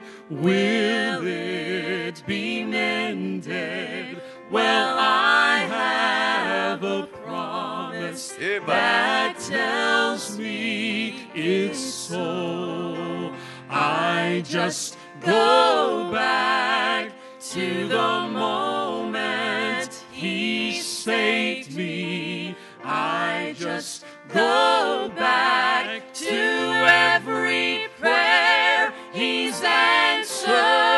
for me. Then I don't have to worry about my next blessing. The past is a promise. I'll have all that I need. Did he deliver Moses?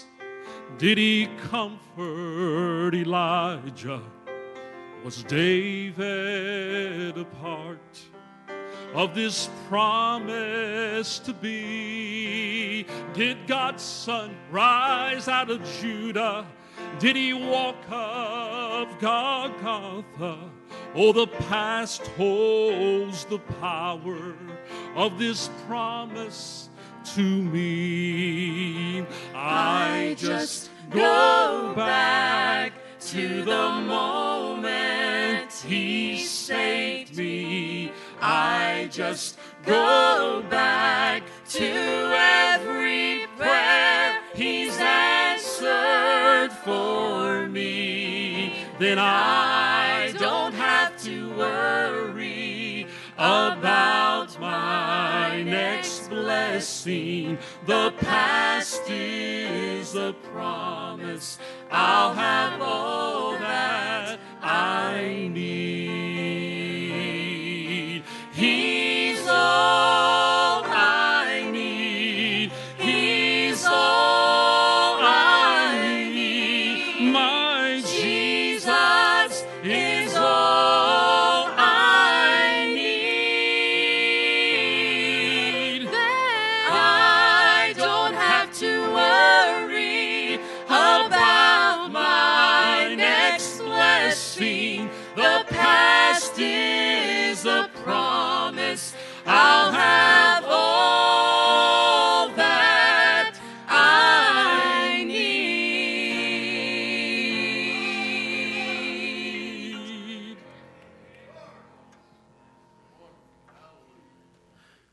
Brother Robbie and Miss Jan and Elena. Appreciate that song. They'll sing again tonight, and you be back tonight. You can hear them sing again. Let's stand again one more time, please. Page number 60.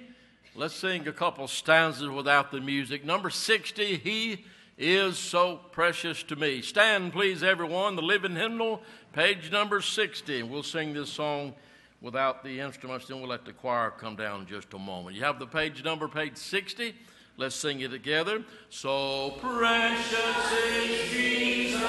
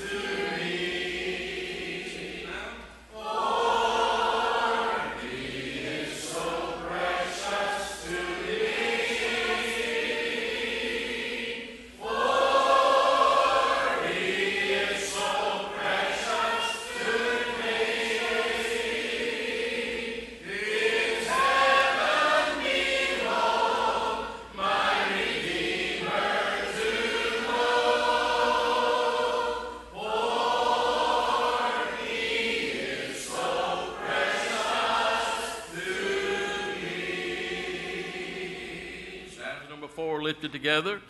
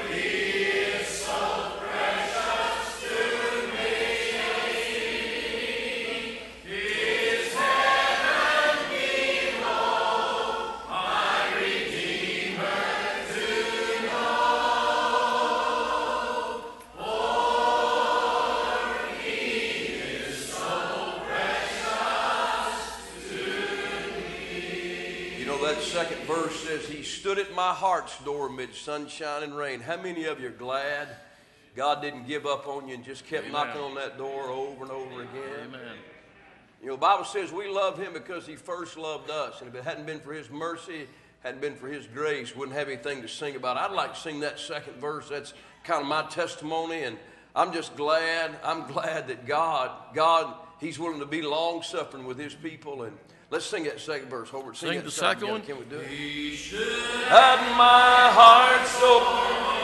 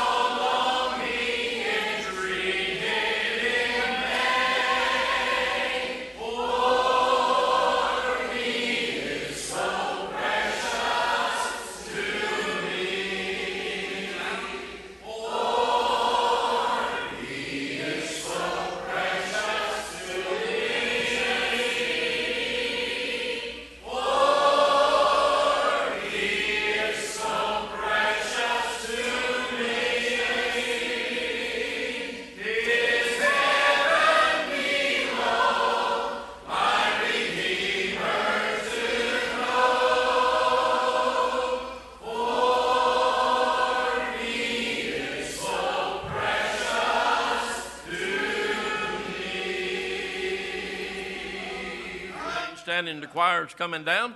Instruments will play in the key of G there, be fine. Whatever you want to play.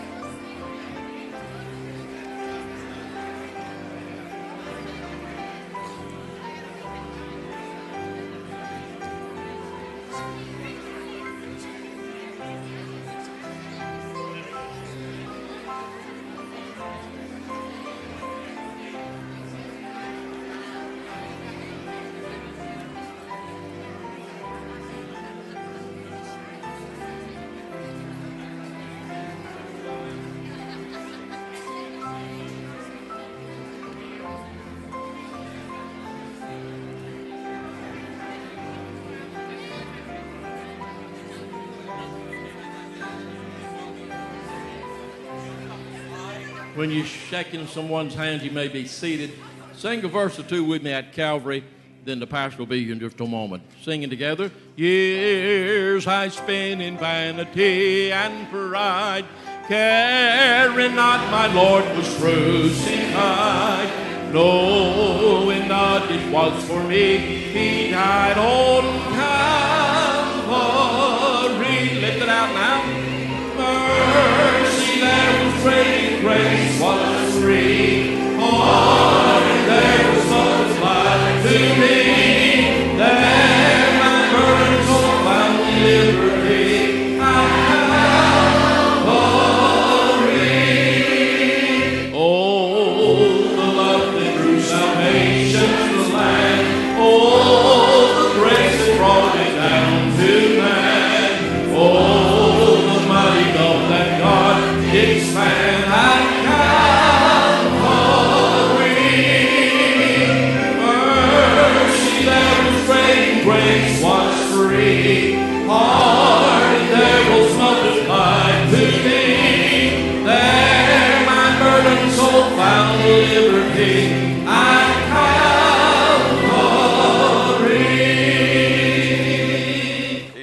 appreciate Brother Stevens. He has been such a help to me, but I know he never knows what to expect, what to do. And I get out there shaking hands with folks. So good. We have, we have about three or four families visiting here today. And listen, honestly, I'm not just saying this, but, uh, but we, we're, we are genuinely glad that you're here. And uh, I, I believe, I, I wrote a letter this morning to someone that um, had visited last week. And I think this would be the heart of our church. I believe this would be true.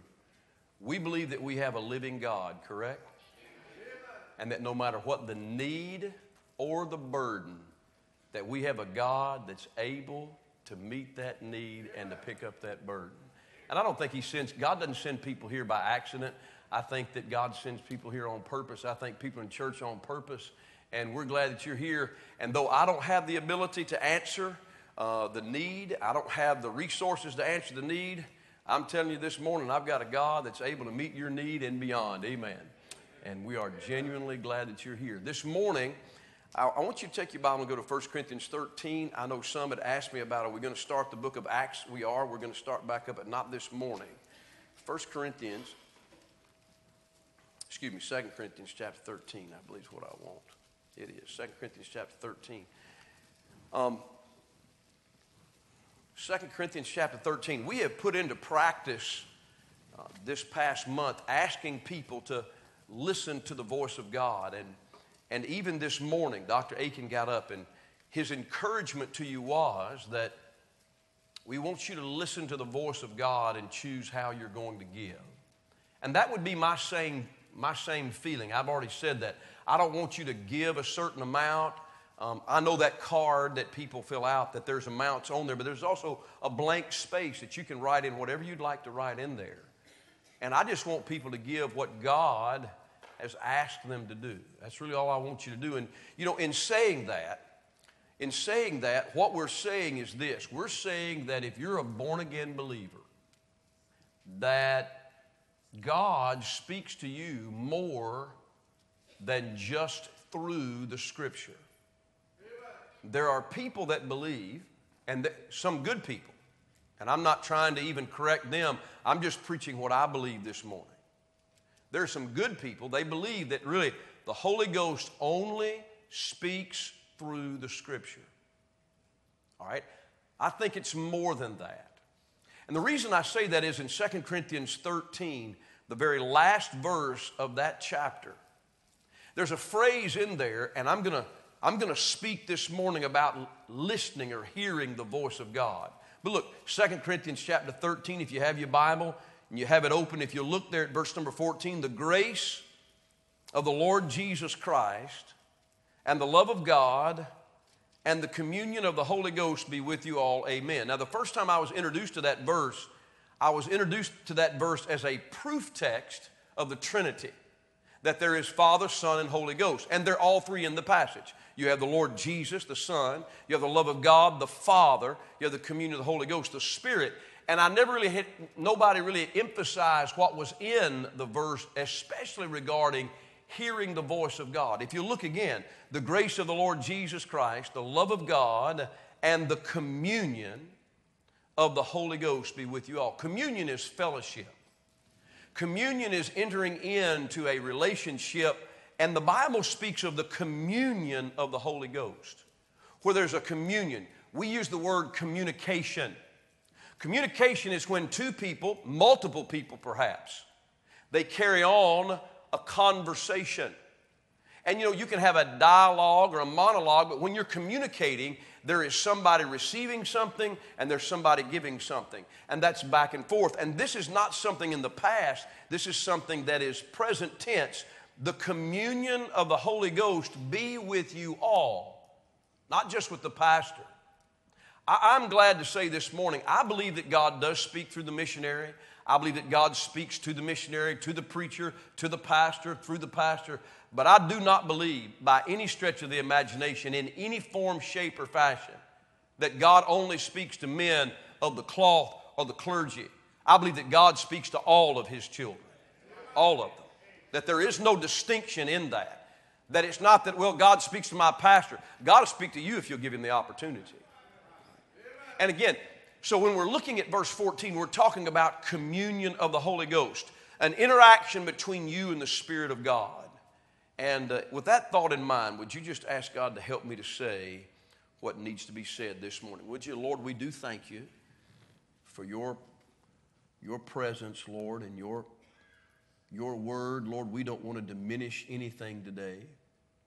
God, what we want to do today is to, to give you the liberty, the platform, Lord, to, to increase our trust and our faith that there is a voice from heaven that we can hear. You said, My sheep hear my voice, and I know them, and they follow me.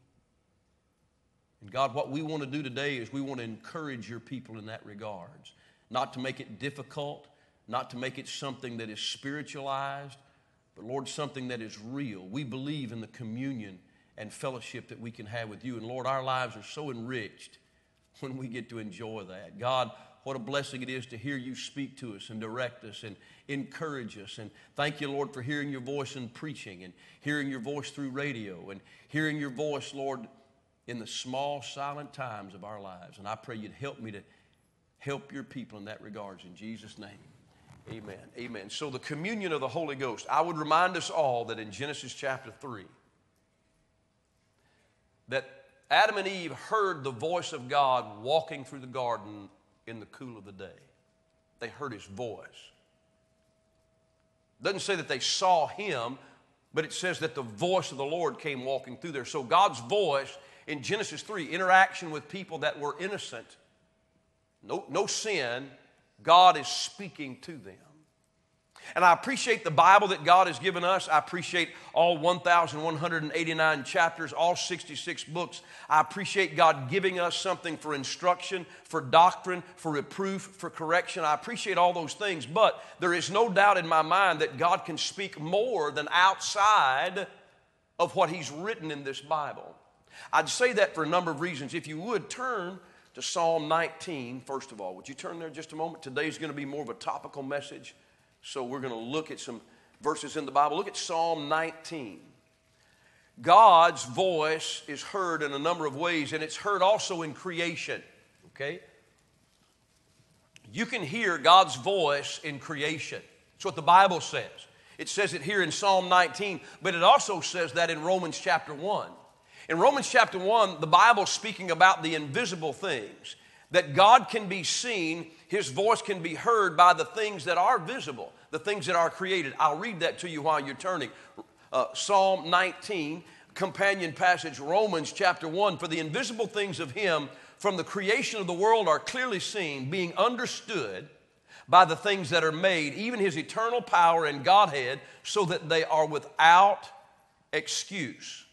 They can be seen, they can be known, they can be understood. Psalm 19, the Bible says it this way Verse 1 The heavens declare the glory of God, and the firmament showeth his handiwork. All right, so if you're listening this morning, the Bible is, is declaring that the heavens declare the glory of God, and that the firmament, you look up there at those stars, they're showing you his handiwork. All right, verse 2 Day unto day uttereth speech. So every day, And night unto night showeth knowledge. Every day, every night, 24 hours a day, that voice is going out. Verse 3 There is no speech nor language where their voice is not heard. So it doesn't matter if I'm born in Brazil and speak Portuguese, or if I'm born in Japan and speak Japanese, or if I'm born in China and speak Mandarin, or if I'm born in India and speak Hindi. It really doesn't matter the language that I speak. The Bible says that there is no speech nor language where their voice is not heard. Creation speaks on a constant basis and it crosses every language barrier, every cultural barrier, and it's 24 hours a day, seven days a week that there is a real God in heaven. Now, look, look what the Bible says in verse 4 their line is gone out throughout all the earth, and their words to the end of the world. So, God, God through creation is saying, listen, I am alive. I created you. There is, there is someone that has more power than you. There is someone that sustains you, and that is me. His creation says that on a regular basis. And I'd like to say this morning, it frustrates me to no end sometimes to hear uh, environmentalists talk about the effect that I have on global warming, okay?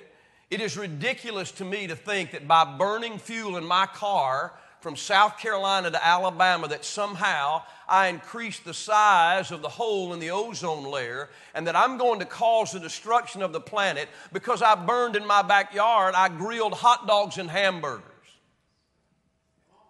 Come on, are you, are you, are you saying that I'm so large? Am I so big that I have that much power to take and shake the foundation of the earth by a barbecue grill and a car made in Japan?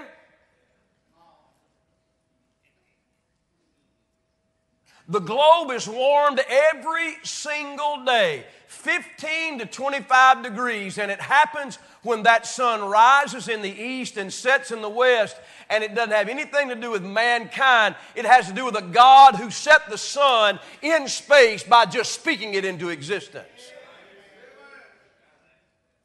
That sun says that there is a God, there is a designer, there is a creator. We go through the seasons spring, summer, winter, and fall. We look at the beauty of the foliage. We look at the rivers. And listen, stand back in amazement and watch the Niagara River. That, that huge, that huge fall there at Niagara. If the earth were millions of years old, Niagara would be somewhere way back up into the northeast parts of Canada because it wears away a little every year. You, you say, How did it get here? I'll tell you how it got here. There's a God in heaven that created all things that are. Amen. And whether it's the stars and their magnificence or whether it's the beauty around us, there is a voice every day in every language saying, I made you. I'm alive. There's someone that designed you. I'm a creator. I created you. And whether men accept that or reject that, it makes no difference. That voice still goes out every day in every language because God, God speaks to people without the scripture. Amen. Without the scripture. He does that. I don't know if you've ever been to Yellowstone. I think every American ought to go to Yellowstone. Yellowstone is such a marvel of creation, and then you get to see all those animals he created. We got to see two eagles when we were out in Yellowstone this past summer. Two eagles, wow. And then we saw moose we saw a baby moose with that moose. Well, we were so excited. Then we saw, it was amazing, amazing all that we saw. We saw elk, we saw buffalo, we saw antelope, we saw just a number of creatures. In fact, we saw so many animals. I didn't see wolves, but my son, he said that, uh, listen, there's just no way. If we saw a bear, if we saw a bear, it'd just make everything perfect. But we're not going to see a bear. And you know, on the way home, the last day out of Yellowstone, I mean, the roads filled with people. We pull over and saw a grizzly bear and her cub 150 yards from us. Sat back there, and look, everybody's got out their cameras. And I'm talking about folks pulling in. This lady pulled in beside us, parked that thing sideways. She pulled out a camera lens. I mean, it, it had to be at least a couple of feet long. Pulled out a tripod. She sets that thing up and she's taking pictures. And all these people are doing the same thing. I was in Virginia Beach not long ago. Preaching in a meeting there, and I told the uh, brother there I'd like to go see the sunrise. And so we went out there for the sunrise, and we get out there, and it was an overcast day. But the sun, when it came up, it just reflected off those clouds this unbelievably colorful pink and orange and red hues. And I'm standing on the beach, six in the morning. And all down to my right and all down to my left, everybody has their iPhone out and their iPad out. And they have their cam again, huge cameras, and they're all taking pictures and they're saying, Wow, what beauty, what incredible beauty. And when I see that, I'm telling you, there's a God in heaven that says evolution doesn't have the ability to make that. I made that in one moment of time. Has to be a designer to have that kind of beauty, that complexity. He says that without ever speaking anything from the scripture. Then go to Romans chapter 2, if you would. Romans chapter 2. Romans chapter 2, God also speaks in another way. God speaks through men's conscience. Men's conscience. Romans chapter 2. Without ever hearing the Bible, without ever reading the scripture, God speaks to men through their conscience. Romans chapter 2. The Bible says in verse number 12, For as many as have sinned without law shall also perish without law. That means they never had the Word of God. And as many as have sinned in the law shall be judged by the law. That's the people that have heard, rejected. Verse 13 For not the hearers of the law are just before God, but the doers of the law shall be justified. For when the Gentiles, which have not the law, in other words, they didn't have a copy, they didn't have the Word of God, all throughout the Old Testament, so many of those nations had no written Word of God. They would have had to go to the Jews to get it. The Bible says that when the Gentiles, which have not the law, do by nature the things contained in the law, these having not the law are a law unto themselves, which show the work of the law written in their hearts, their conscience also bearing witness and their thoughts the meanwhile accusing or else excusing one another. God speaks to men through their conscience. He put the law inside of them. They never read the law. These Gentiles, he said, that don't have the law, that inside them they have a conscience. And it is amazing. Whatever society you go into, if someone takes someone else's wife, that's not approved of. It's looked down upon.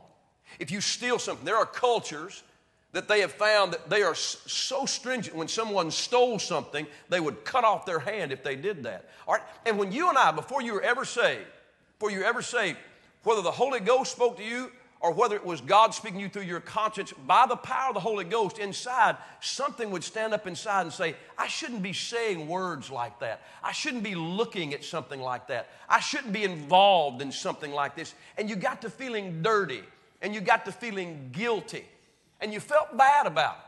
I mean, listen, I, am telling you, it is true. People that have never been born again, never sat inside of a church, can feel guilty about doing something against someone else that God has written down in the law. Thou shalt not kill, thou shalt not steal, thou shalt not bear false witness. And they feel bad because it's a work of God. God is speaking to them through their conscience and saying, Listen, you're guilty. You're guilty. And I'd like to say this morning if you're here and you're listening and you're a guest, we are so glad you're here. But if you're saved, you still experience that on a regular basis. You experience feeling guilty. You experience feeling, man, I feel dirty. I shouldn't have done that. Shouldn't have looked at that. Shouldn't have said that. And that's a natural response. And I can tell you the way to get rid of that, the way to get rid of that is not to try to do a whole lot more good than you do bad. The way to get rid of that is to tell God, God, I agree with you, I'm guilty, and I'm going to accept the payment that your son made for my sins on the cross of Calvary. Jesus Christ died 2,000 years ago on a cross. He didn't die to make mankind better, He died to take away the sin of the world. And I'd like to say this morning are you listening? Are you listening? to be guilty of your sin is natural to have a conscience that's free of that guilt is supernatural. There are things that you could never go back and undo. You can't go back and undo them. If someone goes out and gets an abortion, they can't go out and undo that. If you get drunk and you run somebody over with a car and you take their life, you cannot undo that. You can't undo it. But you know what you can do? You can go to a God in heaven who let his son hang on a cross and die for your sins. You can go and ask him for forgiveness, and you know what he'll do? He'll wash away your sin through his blood. Amen. And when he washes away, this, washes away that sin, there's a blessing that comes along with that. It's called freedom from that guilt. And look, I, I, every now and then the devil, he'll jump back up on my shoulder and he'll tell me, You're so guilty. Remember what you used to do? But on the other side, the Holy Ghost reminds me, Yeah, and Jesus paid for all that. Your account is free and clear. You're all right now, son. Amen. God can do that. God can do that. And not in a confessional sense that you go and you confess to the preacher, the priest. Not at all. You confess your sin to God and you just accept His payment. That payment was made for you and I in full. And I'm telling you, anybody that's ever come to Him, He in no wise cast them out. They left with a good conscience. Amen. God can do that. God can do that. And He speaks to people, whether they've ever had a Bible, ever had a tract, that conscience says something's wrong. Evolution hates the idea of good and evil. And here's why. How can good and evil just be a chemical response? How can you break down good and evil into just a chemical process? And that's what evolution likes to do. Everything is just a chemical process, it's a response to stimulus. No, not at all. There is good and evil in this world. And you know what? God's one that decided what was good and what was evil. Amen. And so he speaks to people to that end. I think that's why in America we don't want the Ten Commandments on the wall of the school. We don't want people feeling guilty. Well, if they don't feel guilty, then they'll never be saved. But if you ever feel guilty, you can get saved, and then after you get saved, you'll feel a whole lot better. Amen. So God is speaking through conscience, He's speaking through creation, but He also speaks through His Holy Ghost. Look at John chapter 16. John 16. In John chapter 16, and this is just trying to help us get to the place that we can understand how do I hear the voice of God? I've had my children ask me that question. How do you hear God's voice, Dad? Okay, you're going to pray about what you're going to write down on that card. How do you hear His voice? How do you hear God's voice in making a decision on whether or not to step away from Alabama and go to Greenville and be a pastor? How do you, how do you hear that? How do you hear that?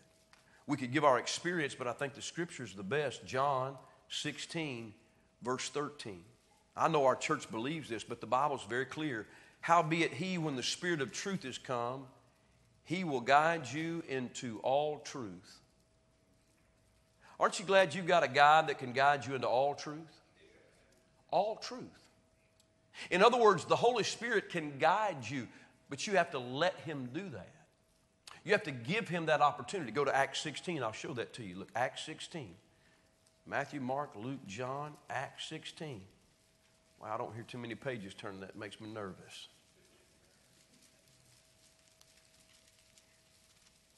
One day somebody's going to invent an app for all those new Bibles on the iPad with the pages flipping there. Acts 16. Paul, a man of God. Paul, he wants to serve the Lord. He wants to do what's right. He's already been out and hazarded his life on the mission field. And now he's come to another point and he's trying to figure out what direction to take. Verse number 6, chapter 16. Now, when they had gone throughout Phrygia and the region of Galatia, they were forbidden of the Holy Ghost to preach the word in Asia. So the Holy Ghost told the Apostle Paul, You may not preach the gospel in Asia. Now, he did later, but he's telling him not right now. He's directing his step. The Holy Ghost forbade him. Look at verse 7. After they were come to Mysia, they essayed to go to Bithynia, but the Spirit suffered them not. You see that in your Bible? The Spirit of God is telling Paul, No, I don't want you to go into Bithynia. And he's already told him, No, I'm not going to allow you to go into Asia. The Holy Ghost is speaking to Paul. Now, you're not going to find anywhere in the scripture that that was written down. There's no Old Testament scripture that that was written out in. And so Paul is trying to hear the voice of God. Look at it again, chapter 20. Look at chapter 20. Again, I'm just saying, does God speak? I believe God speaks through the Holy Ghost to his people. Chapter 20. Look at Acts chapter 20.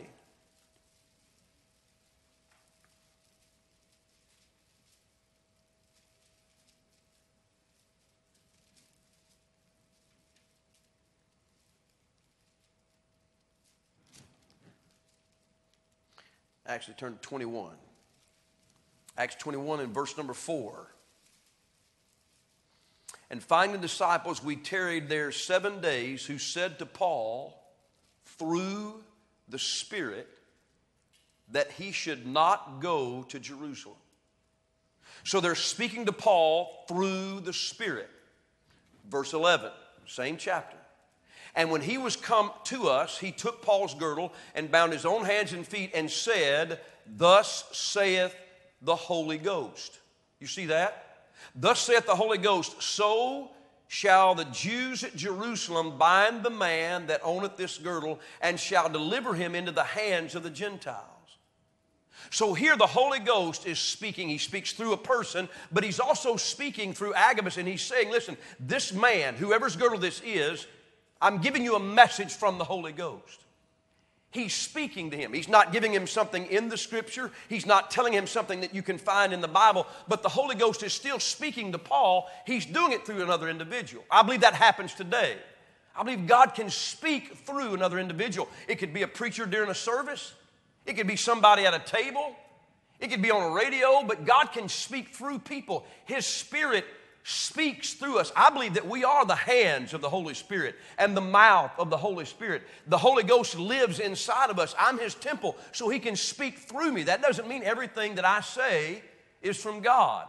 I believe this. Are you listening? Are you listening? I, I believe this all my heart. It is not my responsibility to tell you the decisions you should make in your life.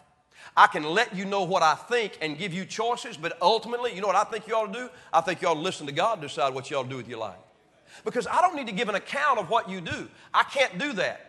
I need to direct you as much as I can with the Bible, but you need to be able to hear God's voice. And here's what does not happen you don't see a light when you hear God's voice.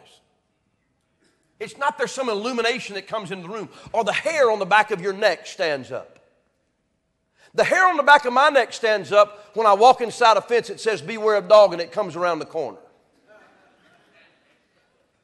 Yesterday, while visiting, I got out of the car and I thought I'm going to go up here. I'd made an appointment with the family and I thought, okay, I'm going to go see them. And a couple of dogs come running up and they're little dogs and they're barking and all that kind of good stuff. And nobody comes out of the house. I say, well, it must be fine. And I get out and these little dogs, they may not have had big teeth, but they were intent on putting them into my feet somewhere. I got a feeling. And I felt better when the gentleman came out and said, "Oh, we got all kind of killer dogs around here." But I noticed he kept looking at the dogs. He never took the fear away from me. I, I need to just get inside the house. Is what I need to do. It's not about something you feel on the back of your neck. It's not about hearing some audible voice. If you hear an audible voice, more than likely you're in heaven. God speaks through His Word, but He does speak through the Spirit. And I'm going to show you that and I'm going to be finished. 1 Kings 19, because some of y'all are looking at me real funny right now. 1 Kings 19. My purpose in preaching this is to try to say, you can hear the voice of God. Well, what does it sound like? I'm going to show you. God does speak through creation, God does speak through your conscience, but God also speaks through His Holy Spirit. And here, in 1 Kings chapter 19, Elisha, rather Elijah, is going. He's running. God's told him where to go, and he goes to Horeb, the Bible says. And in verse number 9, the Bible says, And he came thither into a cave and lodged there, and behold, the word of the Lord came to him. And he said unto him, What doest thou here, Elijah?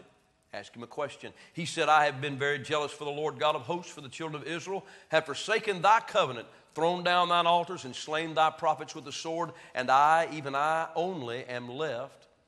And they that seek my life, to, and they seek my life to take it away. And he said, Go forth and stand upon the mount before the Lord. So God tells him first, he asks him a question in verse 9, and then at the end of verse 10, or rather in verse 11, he tells him to go forth and stand on a mount. Or, again, no scripture for that anywhere. It says God speaking to his man. The Bible says, And behold, the Lord passed by, and a great and strong wind rent the mountains and brake in pieces the rocks before the Lord. But the Lord was not in the wind. And after the wind, an earthquake. But the Lord was not in the earthquake. And after the earthquake, a fire, but the Lord was not in the fire. So we have this strong wind. Think Hurricane Irma. We have an earthquake. Think Mexico City. We have a fire. Think Yellowstone. All these things are going on. All these noises, all this, all this visual picturing. Into verse number 12. And after the fire, a still small voice. And it was so when Elijah heard it that he wrapped his face in his mantle and went and stood in the entering of the cave. And behold, there came a voice unto him and said, What doest thou here, Elijah? That still small voice. Now, I believe you can hear the voice of God through creation and through your conscience, and I believe the Holy Ghost does speak. That still small voice says two things to me, and I'm finished this morning. Listen, two things. Number one, still. Isn't it hard to get still? Today, we're a busy people. In fact, let's just be still for just a minute. How about that, all right?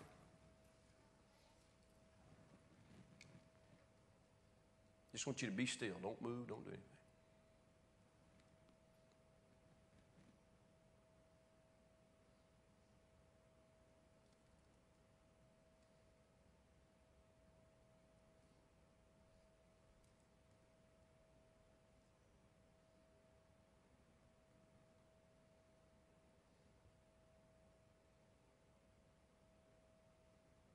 We haven't made it 30 seconds, and some of you are about to stand up and scream right now, aren't you?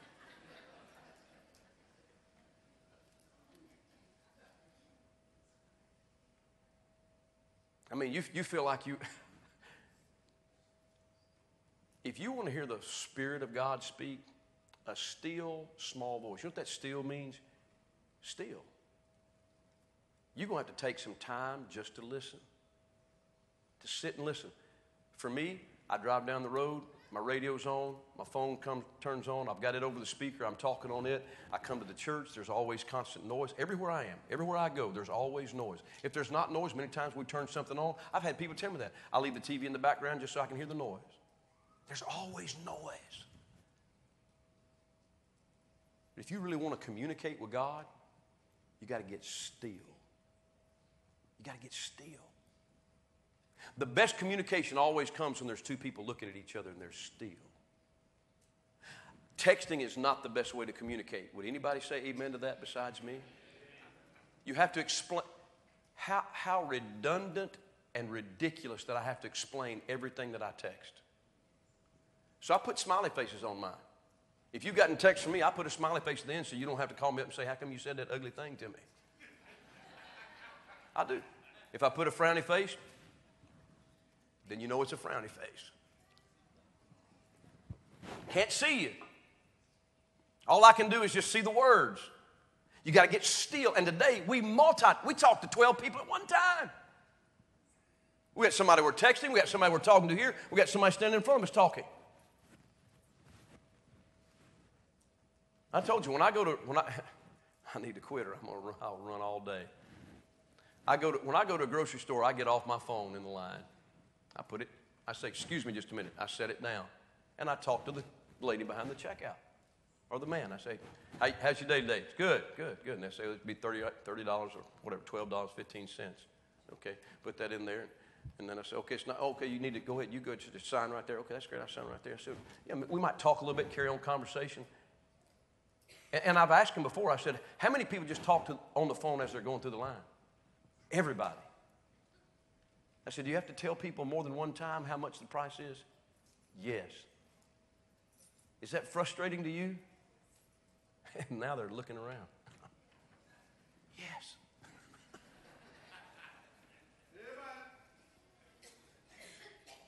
and we want God to talk to us, but we got conversations going on in a thousand other ways instead of just getting still. And then look, the other thing he says about it, that voice was this, verse number 12. It was small. It was a small voice. Oh. As I get older, I, I don't, I don't hear like I used to hear. And uh, my grandfather, my grandfather, when you talk to him, he always said the same thing. Hey, granddaddy. First thing out of his mouth, he'd say, huh? Hey, granddaddy, what time we leaving to go fishing? Huh? And you know, if you didn't respond, he'd say, about nine o'clock.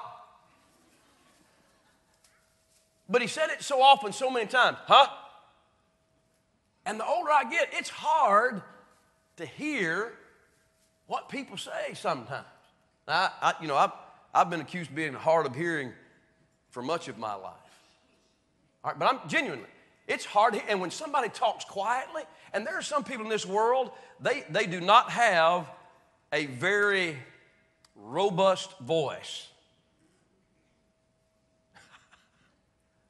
you say something and they say something back, and listen, I have done this, and it's terrible to do it, but I have asked, I'm sorry, and then I've said, could you repeat that? And then after doing that about twice, then I just start doing this. And hope I get it. Because I can't get it. We, at the Pickens County camp meeting Friday night, and I, I, I felt embarrassed. But I put my hand to my ear. I felt like the guy that had the megaphone stuck at the side of his ear. Because this lady is testifying, and I wanted to hear what she's saying, but I couldn't. You can't rejoice. Look, I guess you could rejoice. Everybody else is shouting, okay, woo, glory, hey man, I'm in there. But I wanted to hear what she was saying, so I'm trying to listen. I'm trying to do it discreetly so nobody notices that I'm doing that. Because I wanted to hear. When somebody speaks in a small voice, you got to, or you got to get down on their level. Little child's talking, to, especially little girls. Little girls start talking to you, you got to get down there. Now, what did you say? I said that I'm so glad to be here today. Could you say that again? You get closer, they get quieter. I'm so glad to be here.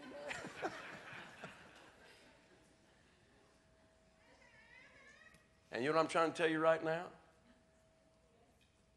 Not going to be some big booming voice. Not going to be like Constantine seeing this thing in the sky, conquering this sign. It doesn't work that way. It's a still, small voice. You've got to take the time and the effort to hear what he's saying. Creation, conscience, the Holy Ghost, amen. And he would never speak contrary to the Bible. I believe that. So anybody ever tells you otherwise, the Holy Ghost would never speak contrary to the Bible. But if you want to hear what he's got to say, you got to take the time and you got to make the effort to listen. And if you'll do that, I believe he'll speak to you. Now, I know most of us already put that faith promise card in. Some haven't. Perhaps you're still wrestling with that. Matters not. What I'm trying to preach this morning is how you can follow the direction of the Holy Ghost. I believe you can. I believe you can. And I believe we ought to. And if we really want to be the kind of Christian we should be, we ought to listen more to him than we do to Rush Limbaugh. We ought to listen more to him than we listen to the majority's voice. We ought to listen to him. Sometimes God will ask you to do something that really is just not comfortable. But he knows best.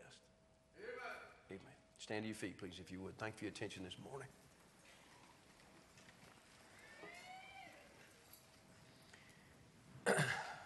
All right. Trying not to make something mystical, something spiritualized, or saying, Well, I've just never heard God's voice. Well, take some time,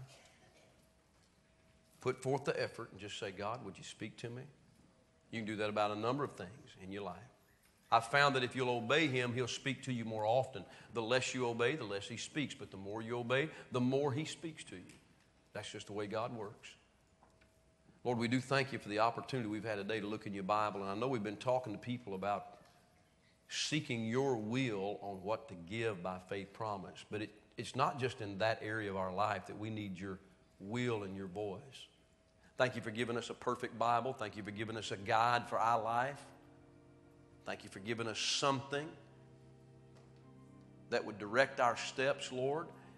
And then thank you for, Lord, for being big enough to be able to speak to us if we could just get still and put forth the effort to hear what you have to say, not just run off in a flash.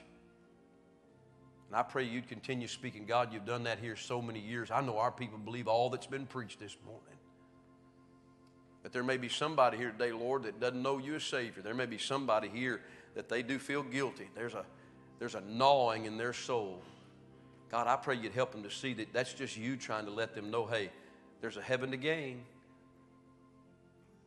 All they have to do is step out by faith. I pray you'd let them see that. We thank you for all you've done today, Lord, in Jesus' name. Amen. Amen. Amen. God. Well, we got people praying. I think we're not going to say, God bless you. Dismiss. The altar's open. If you need to get on the altar, I'm going to leave that open for you. Anybody need to get there? Amen, son. How about you? Anybody? You need God's direction on something? Might be good to get on an altar for a little while. Amen, son. Amen, brother. Anybody else? Got decisions to make, got things I'm looking, trying to hear God's voice. Anybody else like that? Anybody else? Didn't intend to give an invitation, but I'm not going to stop God from giving one.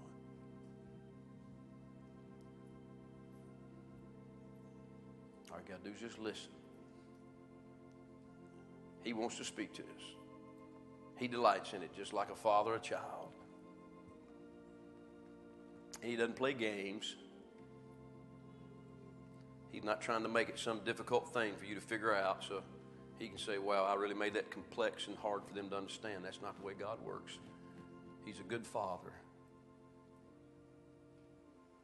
But another couple come to altar. I can't close it with that going on. Anybody else?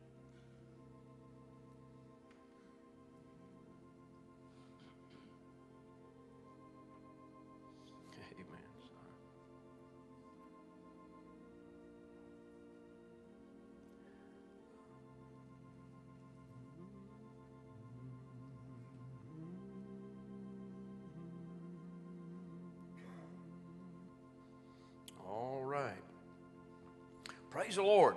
Aren't you glad you came to church this morning? God can speak to us, boy. And for all these guests today, how many are glad that we had guests today?